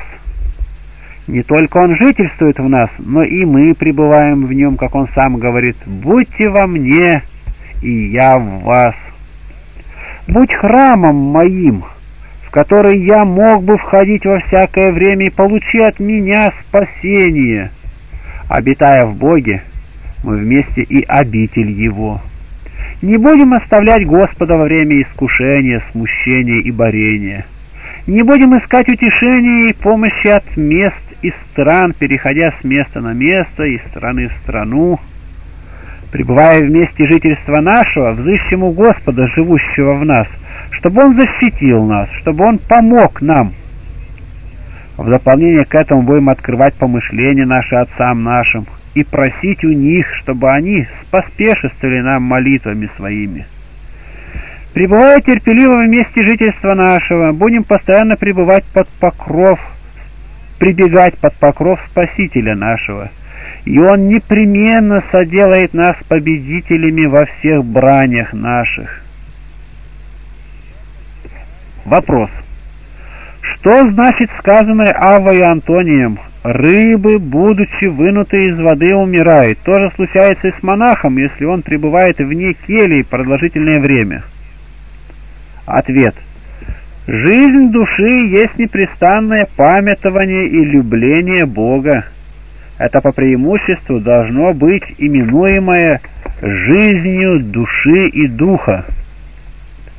По этой причине, если монах будет подолгу оставаться в городах, он умирает, убиваемый зрением соблазнов и обращением среди их. Он лишается духовной жизни, удаляясь от Бога и забывая Его, изгоняя из сердца своего любовь ко Христу, приобретенной многими трудами в келейном безмолвии. В нем ослабевает ревность к удручению себя подвигами. Он предается лености, и увлекается вожделениями. Возмущается чистота его сердца от действия на него страстных впечатлений, входящих через чувства, через зрение, слух, разговор, осязание, вкус, обоняние. Этими впечатлениями он усиленно влечется к любодеянию и другим порокам, которые для монаха — смерть и погибель. «Итак, справедливо, — сказал блаженный Антоний, как рыба умирает, будучи вынутой из воды на сушу, так умирает и монах, оставивший свою келью и живущий в городах. Ава Арсений Великий приведен к монашеской жизни чудными судьбами Божьими. Он был наставником Аркадия и Ганория, сыновей Феодосия Великого, императора Византийского, и назывался отцом их – по такому значению своему, по личным достоинствам, по учености своей Арсений пользовался особенным почетом между придворными. По положению мира он принадлежал к сенаторам, и вместе принадлежал к церковному клиру, имея сан диакона. Из зашедших до нас изречений его и событий из его жизни видно в его характере необыкновенная прямота и откровенность. Он действовал сообразно своей цели, своей решительной благонамеренности, не допуская себе соображений, которые могли бы отвлечь от такого действования. Однажды он нашел нужным наказать Аркадия за некоторое юношеское увлечение, и наказать так сильно, что питомец не позволил себе снова этого увлечения. Злоба объяла Аркадия. Он задумал убить Арсения. Умысл царевича был открыт Арсению. Арсений ночью снял с себя одежду царедворца, облегся в рубище нищего, ушел из дворца, сел на корабль, отправлявшийся из Константинополя в Александрию. В окрестностях ее находилась дикая пустыня, скит, в которой тысячи монахов проводили самое возвышенное жительство. Туда направился Арсений. Он сопричислился к многочисленному лику святых подвижников и вскоре под руководством преподобного Иоанна Колова достиг особенного духовного преуспеяния. Страница 35. В характере Арсения Великого отмечена жизнеописателями еще особенная черта. Когда он находился при дворе императорском, Никто из придворных не окружал себя таким великолепием, как Арсений. А в скиту никто не наблюдал так строго иноческой нищеты, никто не носил столь рубищного одеяния, как Арсений. Обилие благовонных мастей он заменил смердящей водой, в которой намачивались пальмовые ветви для его рукоделия, и которая постоянно непеременяемая, но только добавляемая вода была в его келье. И при дворе Арсений, сияя по наружности роскошью, проводил жительство подвижника, постоянно помышлял о монашеской жизни, стремился к ней всем желанием сердца. Подобная черта замечена в характере Василия Великого, архиепископа Кесарии Каппадокийской. Этот святитель, строгий подвижник, был вполне нестяжателен, нестяжателен до совершенной нищеты – но во время богослужения он обставлял себя необыкновенным порядком и необыкновенным блеском. Что это за явление? Явление ли тщеславия и суетности по обычаю и в духе мира? Нет. Это было проявлением бескорыстного и высокого сочувствия к изящному. По этой причине пышность стояла возле нестяжания, блеск прикрывал строгое подвижничество — и легко оставил преподобный Арсений тени и образы изящного, которым сердце его не было пристрастным. Устремился всецело к существенно изящному, единое, истинно изящное Бог. Узнав о замысле Аркадии, находясь еще при царском дворе, Арсений молился Богу так, «Господи, научи меня, как мне спастись» и был к нему глаз Арсений, бегай от человеков и спасешься. В скиту Арсений опять молился Богу, говоря, «Господи, научи меня, как мне спастись». И услышал он голос, говоривший ему, «Арсений, бегай человеков, молчи, безмолвствуй, это корни безгрешия».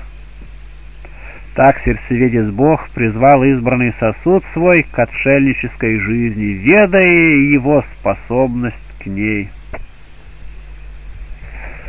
Прибыв в Скит, святой Арсений объяснил о намерении своем принять монашество пресвитерам. Они отвели его к старцу, исполненному Святого Духа, Иоанну Колову. Старец захотел подвергнуть Арсения испытанию — когда они сели за трапезу, чтобы вкусить хлеба, старец не пригласил, не пригласил Арсения, но оставил его стоять. Он стоял, устремив глаза в землю, помышляя, что стоит в присутствии Бога пред его ангелами. Когда начали употреблять пищу, старец взял сухарь и кинул Арсению. Арсений, увидя это, обсудил поступок старца так — старец, подобный ангелу Божию, познал, что я подобен псу, даже хуже пса, и потому подал мне хлеб так, как подают псу. Съем же я хлеб так, как едят его псы. После этого размышления Арсений встал на руки и на ноги, в этом положении подошел к сухарю, взял его устами, отнес его в угол и там употребил. Старец, увидев великое смирение его, сказал пресвитерам, из него будет искусный инок. По прошествии непродолжительного времени Иоанн дал ему келью близ себя и научил его подвязаться о спасении своем. Вопросил однажды Ава Арсения одного из египетских старцев о своих помыслах. Это увидел некоторый брат и спросил его, «Ава Арсений, почему ты, будучи столько сведущ в учености Греции и Рима, вопрошаешь о твоих помыслах этого чуждого всякой учености?» Арсений отвечал, «Науки Греции и Рима я знаю, но еще не узнал алфавита, который преподается этим, ничего не знающим в учености мира». Познания, которые сообщил египтянин, были доставлены ему исполнением евангельских заповедей.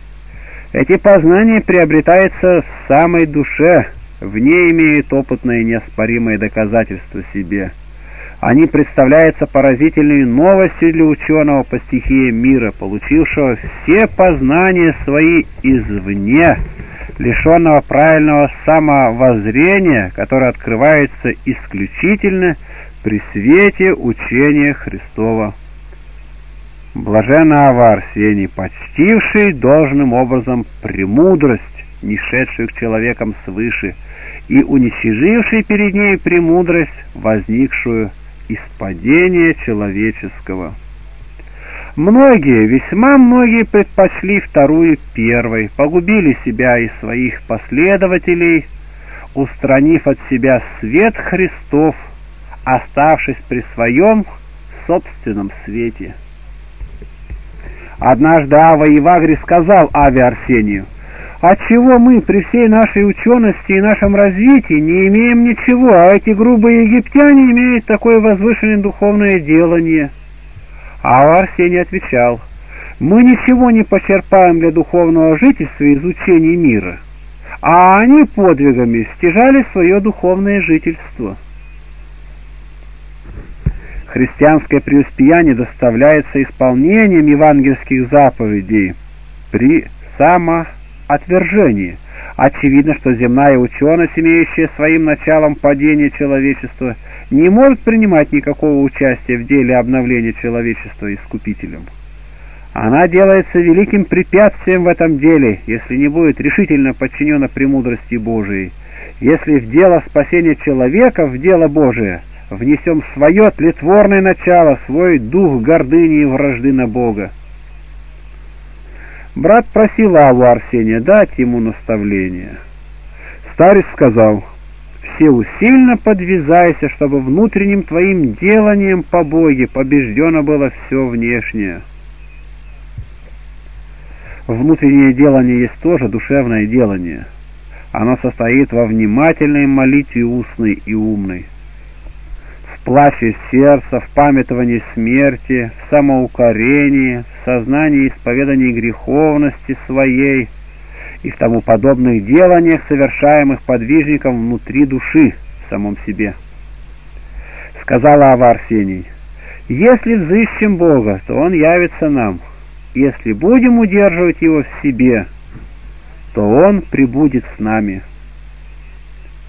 Изречение – из возвышеннейшего иносиского подвига. Оно знаменует, что истинным подвигом должно привлечь в себя благодать Божию, и, получив ее, удерживать ее в себе истинным подвигом. Предавшиеся лености и беспечности по получению благодати утратили ее. 10. Некоторый монах сказал Аве Арсению, Помыслы беспокоят меня, говоря, ты не можешь выносить ни поста, ни подвигов. Посещай, по крайней мере, больных, потому что это дело любви. Старец, поняв, что помыслы насеяны бесами, сказал ему, иди, ешь, пей, ничего не делай, только не оставляй келейного безмолвия. Старец сказал так, зная, что келейное безмолвие приведет монаха к должному жительству, если монах прибудет терпеливо в безмолвии. Поведали о некотором брате, приходившем в скит с целью увидеть Аву Арсения, следующее. Брат этот пришел в скитскую церковь и убедительно просил священнослужителей, чтобы доставили ему возможность видеть старца. Они сказали ему, побудь здесь некоторое время и увидишь его. Брат отвечал, я не вкушу никакой пищи, прежде нежели увижу его.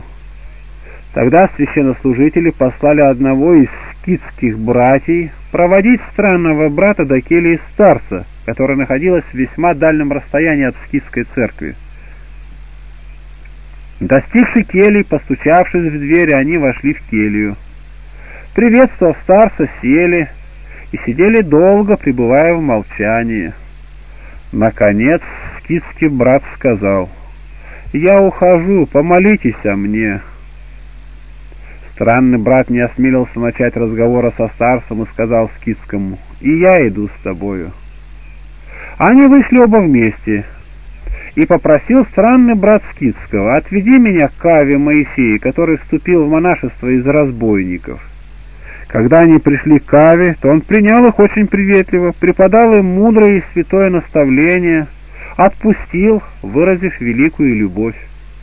Тогда скидский брат сказал страннику, «Вот, я водил тебя к чужестранцу и к египтянину.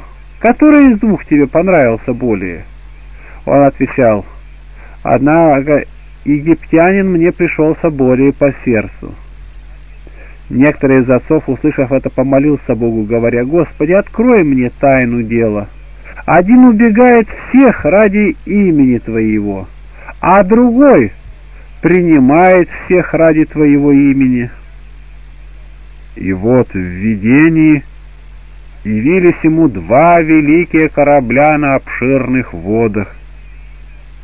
В одном корабле он видел Аву Арсения, безмолвно плывущего и Духа Божия с ним, а в другом Аву Моисея, плывущего в обществе ангелов, которые питали его медом, истекающим из сотов.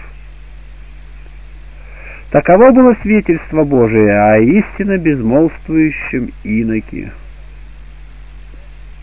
Сказала Ава Маркаве Арсению, «По какой причине ты избегаешь общества и беседы с нами?» Арсений отвечал, «Знает Бог, что я люблю вас, но не могу быть вместе и с Богом, и с человеками. На небе тысячи и тысячи тысяч имеют одну волю, а у человеков воля многообразна, и потому не могу, оставив Бога, быть с человеками. Когда иноку усвоится его делание и соделается его существенной необходимостью, Тогда он не имеет возможности перейти к другому деланию, хотя бы это другое делание имело свое духовное достоинство. Оставление усвоившегося делания как бы оставление жизни. Однажды некоторые отцы пришли из Александрии к Аве Арсению для свидания с ним. Один из них был дядя старшего Тимофея, архиепископа Александрийского, прозванного Нестяжателем – Ава Арсений был тогда болен и отказался от свидания, опасаясь, чтобы другие не начали приходить и беспокоить его. В то время он находился в каменистой горе Тройской. Отцы возвратились огорченные. За этим последовал набег варваров. Старец, оставил гору и перешел для жительства в Нижний Египет. Услышав это, отцы опять пришли для свидания с ним. Старец принял их радушно. С отцами был брат. Этот брат сказал Аве Арсении, «Известно ли тебе, Ава, что мы приходили к тебе для посещения в Тройскую гору?»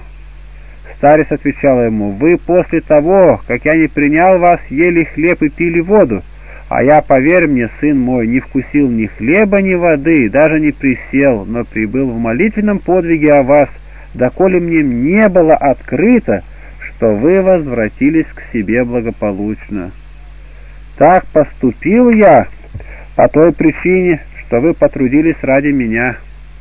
Впрочем, простите меня. Посетители пошли от него утешенные. Чтобы исцелить плоское суждение о поступке духовного мужа, о поступке, который по наружности своей мог показаться резким нарушением заповеди Божией о любви к ближнему. Святой Арсений поведал тайну своего поведения относительно непринятых им посетителей и бывшее ему о них божественное откровение, из которого яствовала сила его молитвы, и то исполнение заповеди, к которому способны одни духоносцы. Брат пришел к хижине Ави Арсения, это случилось в скиту, и увидел сквозь дверную скважину старца всего как бы огненным. Брат достоин был видения. Он постучался в дверь, старец вышел и, заметив изменения в лице брата, спросил его, давно ли он тут и не видел ли чего. Брат сказал, что ничего не видел. Старец, побеседовав с ним, отпустил его. Поведал Ава Арсения о некотором скитянине, великом по подвижничеству и славном по вере, но погрешавшем в ней по невежеству следующее. Скитянин говорил, что в святом причащении мы приемлем не тело Христова, но образ тела Христова в виде хлеба. Об этом услышали два старца. Зная, что говоривший велик по жительству, они поняли, что он говорит это не по злонамеренности, а по неведению и простоте. Они пришли к нему и сказали, «Отец, мы слышали о некотором брате, что он произнес мнение, не согласное с учением правой веры, именно что в святом причащении мы принимаем не тело Христова, но образ тела Христова в виде хлеба». Старец отвечал, «Говорил это я, они отвечали ему, начали убеждать, не думай так, отец, но исповедуй по преданию Святой Соборной Апостольской Церкви. Мы веруем, что хлеб есть самое тело Христово, а в чаше самая кровь Христова, отнюдь не образы. Хотя не постижимо, каким образом хлеб может быть телом, но так как Господь сказал о хлебе «сие есть тело мое», то мы веруем, что хлеб есть истинное тело Христова.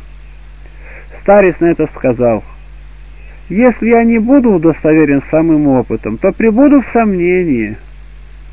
Они предложили ему, «Будем молиться Богу в течение всей следующей недели, чтобы Он объяснил нам таинство, и веруем, что Бог откроет».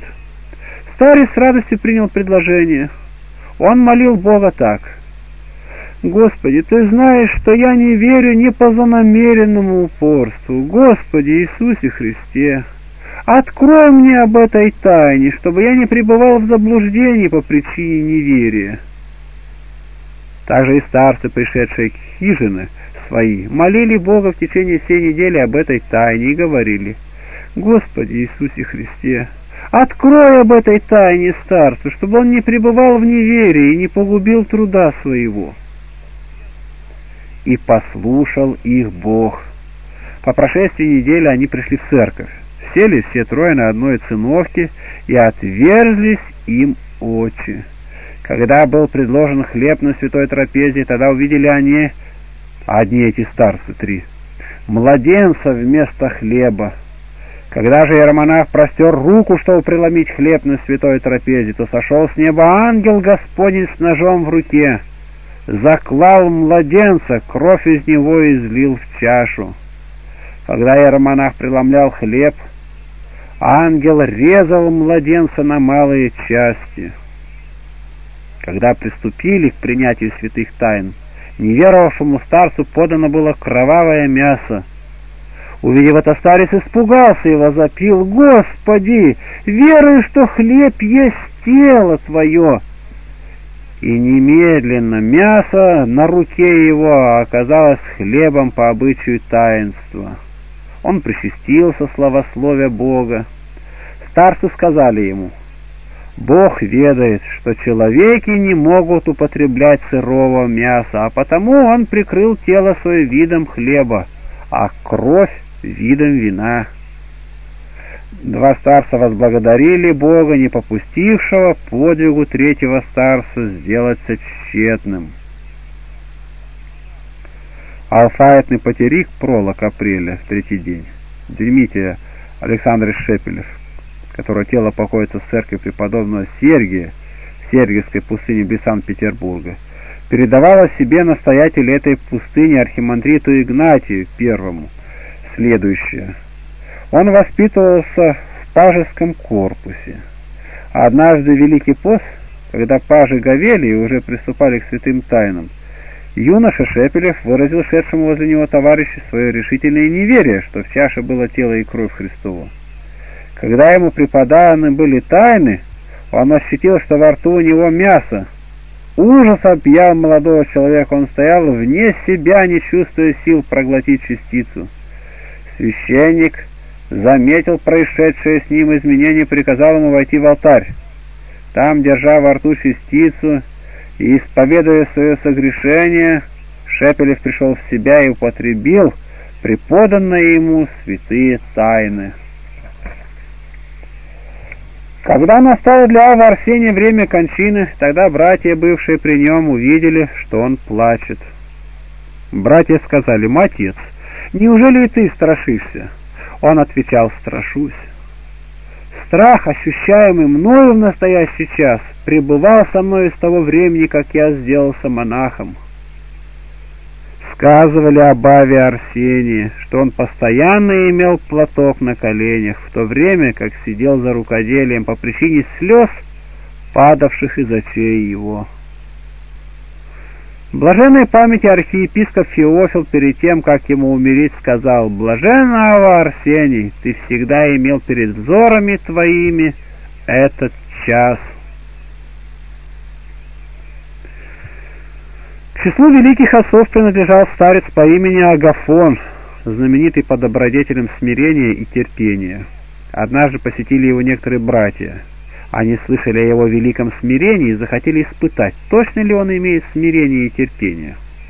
Для этого они сказали ему, «Отец, многие соблазняются на тебя за то, что ты одержим в сильной степени страстью гордости, и столько презираешь других, что считаешь их за ничто. Также ты непрестанно осыпаешь злоречием братья. Очень многие утверждают, что тайной причиной такого поведения твоего есть блудная страсть, которую ты объят целью прикрыть собственную порочную жизнь ты постоянно занимаешься оклеветыванием других. На это старец отвечал, «Сознаю в себе все эти пороки, в которых вы обличили меня, и не могу допустить себе запирательства в таликих беззакониях моих». С этими словами он пал к ногам братьев и сказал им, «Умоляю вас, братья, Молитесь прилежно ко Господу Иисусу Христу о мне, несчастным, обремененным бесчисленными грехами, чтобы Он простил мне многие тяжкие беззакония мои. Но братья к прежде сказанным словам присовокупили следующее. «Не скроем от тебя и того, что многие признают тебя еретиком». Старец, услышав это, сказал им — хотя я обременен многими другими пороками, но отнюдь не еретик. Чушь душе моей этот порок. Тогда братья, пришедшие к нему, пали ему многие, сказали, «Ава, просим тебя сказать нам, почему ты нисколько не смутился, когда мы обвиняли тебя в таких важных пороках и грехах, а обвинение в ереси встревожило тебя?» Услышав его, ты не мог вынести и отверг его с решительностью. Старец отвечал им, «Первое обвинение в грехах я принял для приобретения этим смирения, и желаю, чтобы вы имели мнение о мне, как о грешнике. Мы удостоверены, что в сохранении добродетели смирение — великое спасение души». Господь и Спаситель наш Иисус Христос, когда иудеи осыпали его многими укоризнами и клеветами, претерпел все это и предоставил нам свое смирение в образец подражания. Приведенные против него лжесвидетели свидетельствовали против него много ложного, но он переносил терпеливо клеветы, возведшие его на крест. Апостол Петр, указывая на это, говорит – Христос пострадал за нас и оставил нам пример, чтобы мы последовали стопам Его. Подобает нам терпеливо, со смирением переносить все противности. Но обвинение в ереси я не мог принять, с великим омерзением к нему отверг его, потому что ересь есть отчуждение от Бога. Еретик отлучается от Бога живого и истинного и приобщается дьяволу и ангелам его. А отлученный от Христа уже не имеет Бога, которого он мог бы умолить о грехах своих. И во всех отношениях есть погибший. Если же еретик обратится к вере, содержимой истинную Вселенскую Святой Церковью, то он приемлется благим и милостивым Искупителем, воссоединяется с истинным Богом Творцом и Спасителем нашим Христом, который всегда был и есть единосущен Отцу и Святому Духу. Ему слава во веки веков. Аминь. Агафон был мудр, по естественному свойству своему. Чувств лености в отношении к телу, наблюдал должную соразмерность в рукоделии, пище и одежде. Сказывали о Авиагафоне, что он стремился к исполнению всякой заповеди Божией. Когда случалось переправляться через реку, он сам первый принимался за весла. Когда приходили к нему для посещения братья, он, по совершению обычной молитвы, немедленно собственными руками поставлял трапезу, потому что был исполнен любви Божией. Однажды братья в присутствии Авы и Иосифа начали разговор о любви. Старец сказал, «Мы не знаем, что такое любовь. Вот образец любви. Ава Агафон имел ножик, необходимый ему для его рукоделия. Пришел к нему брат и, увидев ножик, похвалил эту вещь. Ава Агафон немедленно начал упрашивать брата, чтобы он принял ножик в подарок и не дал брату выйти из кельи, пока не уговорил его принять понравившуюся ему вещь. Надо принять соображение, какого труда стоило вновь приобрести в глубокой пустыне орудие, необходимое для рукоделия, составлявшего и часть келейного подвига, и единственное средство к содержанию себя — при таком только соображении можно оценить должным образом поступок старца, строго внимательного к себе, дорожившего своим безмолвием. Преподобный Ава Агафон, хотя и проводил жизнь безмолвника, но предпочитал безмолвие и исполнение заповедей любви к ближнему, подобно преподобному Моисею Мурину, и в противоположность преподобному Арсению Великому. Последний совместил в любви к Богу любовь к ближнему и возвел вторую на высоту таинственного подвига превысшего дел, совершаемых при посредстве тела. Говорил Ава Агафон, «Если б возможно было мне взять тело у кого-либо из прокаженных и передать ему мое, то сделать это было бы для меня наслаждением». Такова совершенная любовь. Поведали о Авиагафоне, что он, отправляясь однажды в город для продажи своего рукоделия, нашел там больного странника, поверженного на улице. И никто не принял на себя попечение об этом страннике. Старец остался при нем. На цену, полученную за свое рукоделие, нанял хижину, оставшиеся деньги от найма кельи употребил на нужды больного – так провел он четыре месяца до выздоровления странника. Тогда Агафон возвратился в свое место.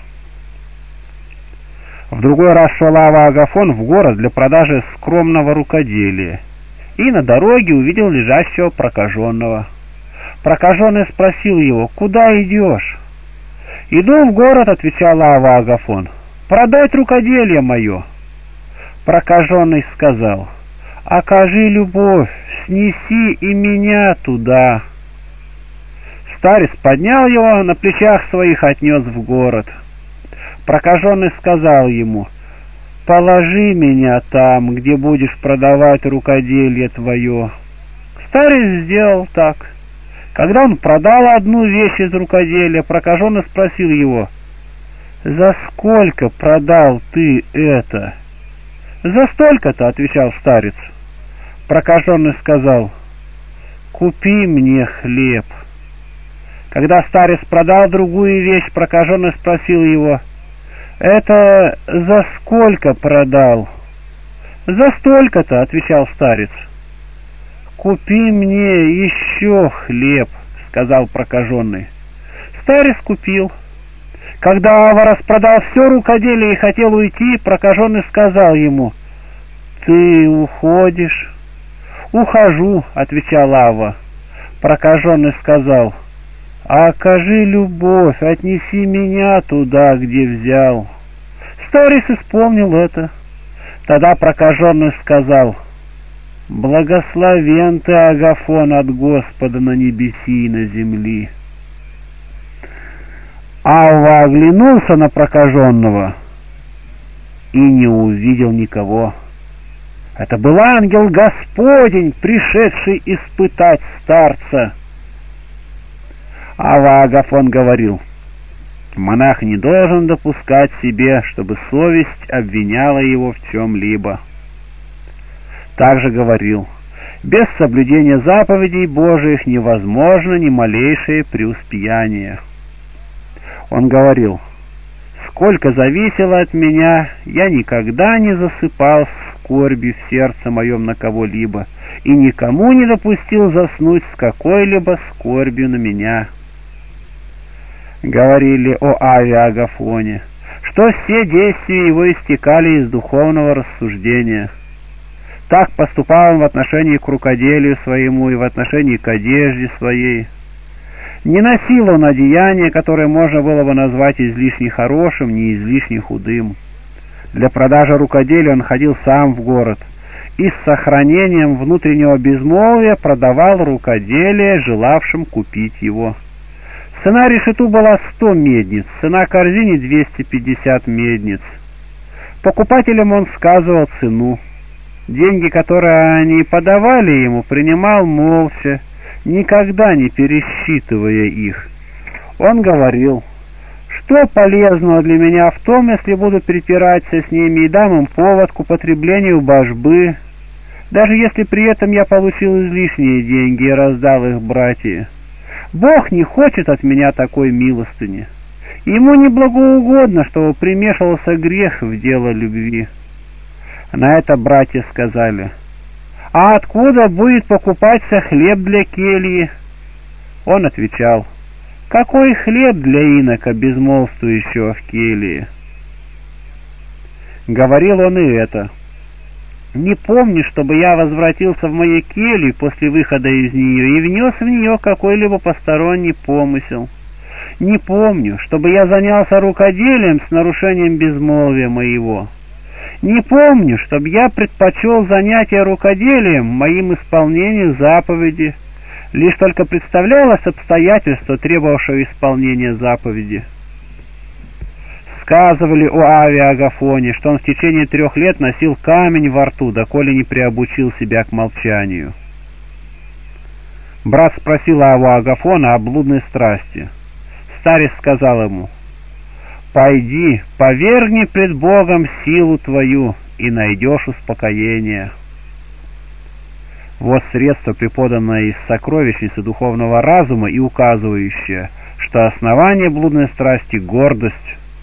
Адам, когда восхотел быть равным Богу и доказал желание делом, тогда утратил духовное ощущение непорочности, не шел к плоскому ощущению вожделения жены — Этим вожделением приложился к скотам несмысленным и уподобился им. А Агафон сказал, «Человек непрестанно должен быть как бы предстоящим суду Божию».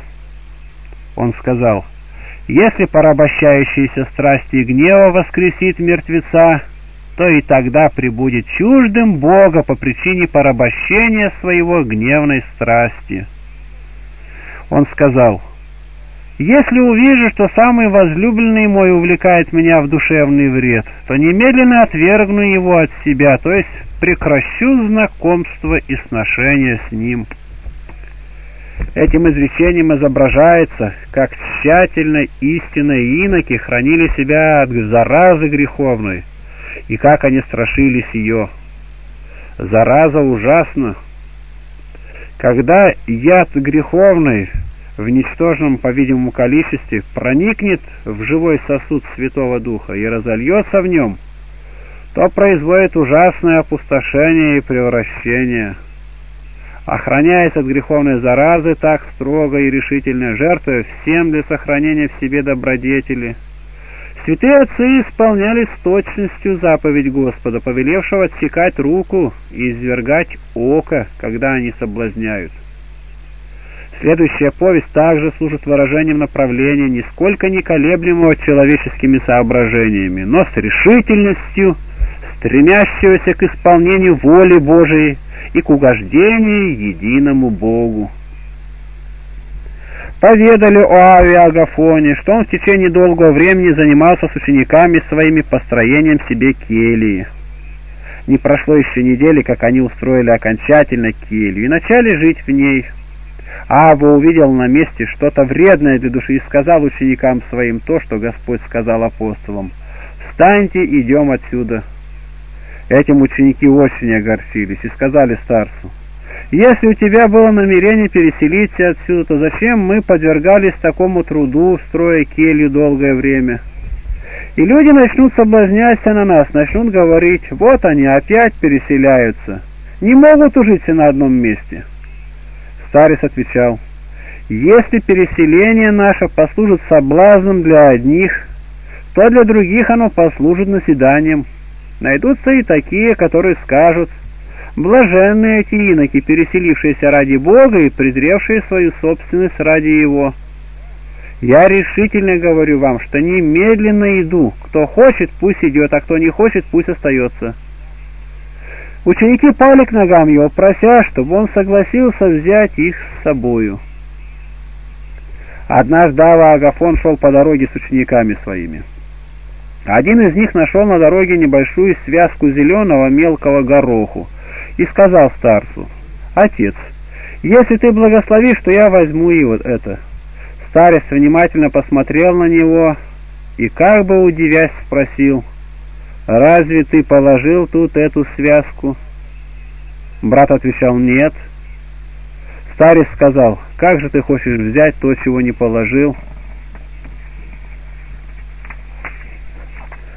Спросили Аву Агафона, что больше, телесный ли подвиг или душевное делание? Старец отвечал, подвижника можно уподобить древу, телесный подвиг листьям его, а душевное делание плоду. Писание говорит, всякое дерево, которое не приносит доброго плода, срубает и бросает в огонь. Из этого яствует, что цель всего монашеского жительства – стяжание плода, то есть умные молитвы. Впрочем, как нужны для дерева покрова украшения листьями, так нужен для монаха и телесный подвиг. Братья спросили Аву Агафона – какой подвиг в монашеском жительстве труднее прочих? Он отвечал, простите меня. Полагаю, что подвиг молитвы труднее всех прочих подвигов. Когда человек захочет излить перед Богом молитву свою, тогда враги демона спешат воспрепятствовать молитве, зная, что никакой подвиг столько не опасен для них, сколько опасна молитва, принесенная Богу от всей души. Во всяком другом подвиге, который возложит на себя посвятившийся монашескому жительству, хотя бы он нес этот подвиг настойчиво и постоянно, стяжевает и имеет некоторое упокоение. Но молитва до последнего издыхания сопряжена с трудом тяжкой борьбы. Ава Агафон говорил, «Я никогда не поставлял вечери любви, Принимать и подавать душеспасительные наставления было для меня вечерей любви. Думаю, доставление душевной пользы ближнему заменяет собой представление ему вещественной вещи, пищи. Ава Агафон, когда видел какое-либо дело и помысл побуждал его к осуждению, говорил сам себе, Агафон, ты не сделай этого. Таким образом помысл его успокаивался, брат сказал Аве Агафону, «Мне дана заповедь, но исполнение заповеди сопряжено со скорбью, и хочется исполнить заповедь, и опасаюсь скорби». Старец отвечал, «Если б ты имел любовь, то исполнил бы заповедь и победил бы скорбь». Когда настало время кончины Ава Агафона, он прибыл три дня без движения, имея отверстыми глаза и содержа их в одном направлении. Братья толкнули его, сказав, «Ава, где ты?» Он отвечал, «Предстаю суду Божию». Братья сказали ему, «Отец, неужели и ты боишься?» Он отвечал, «Хотя я старался всеусильно исполнять заповеди Божии, но я человек, и не знаю, угодны ли дела мои Богу. Братья сказали, неужели ты не уверен, что дела твои благоугодны Богу? Старец сказал, невозможно удостовериться мне в этом прежде, нежели предстану Богу, потому что иной суд Божий и иной человеческий. Когда братья хотели еще сделать вопрос, он сказал им, окажите любовь не говорите со мною, потому что я занят». Сказав это, он немедленно испустил дух с радостью. Братья видели, что он кончился, как бы приветствуя своих возлюбленных друзей. А Агафон во всех отношениях строго наблюдал за собой и охранял себя. Он говорил, без строжайшей бдительности над собой человеку невозможно преуспеть ни в какой добродетели.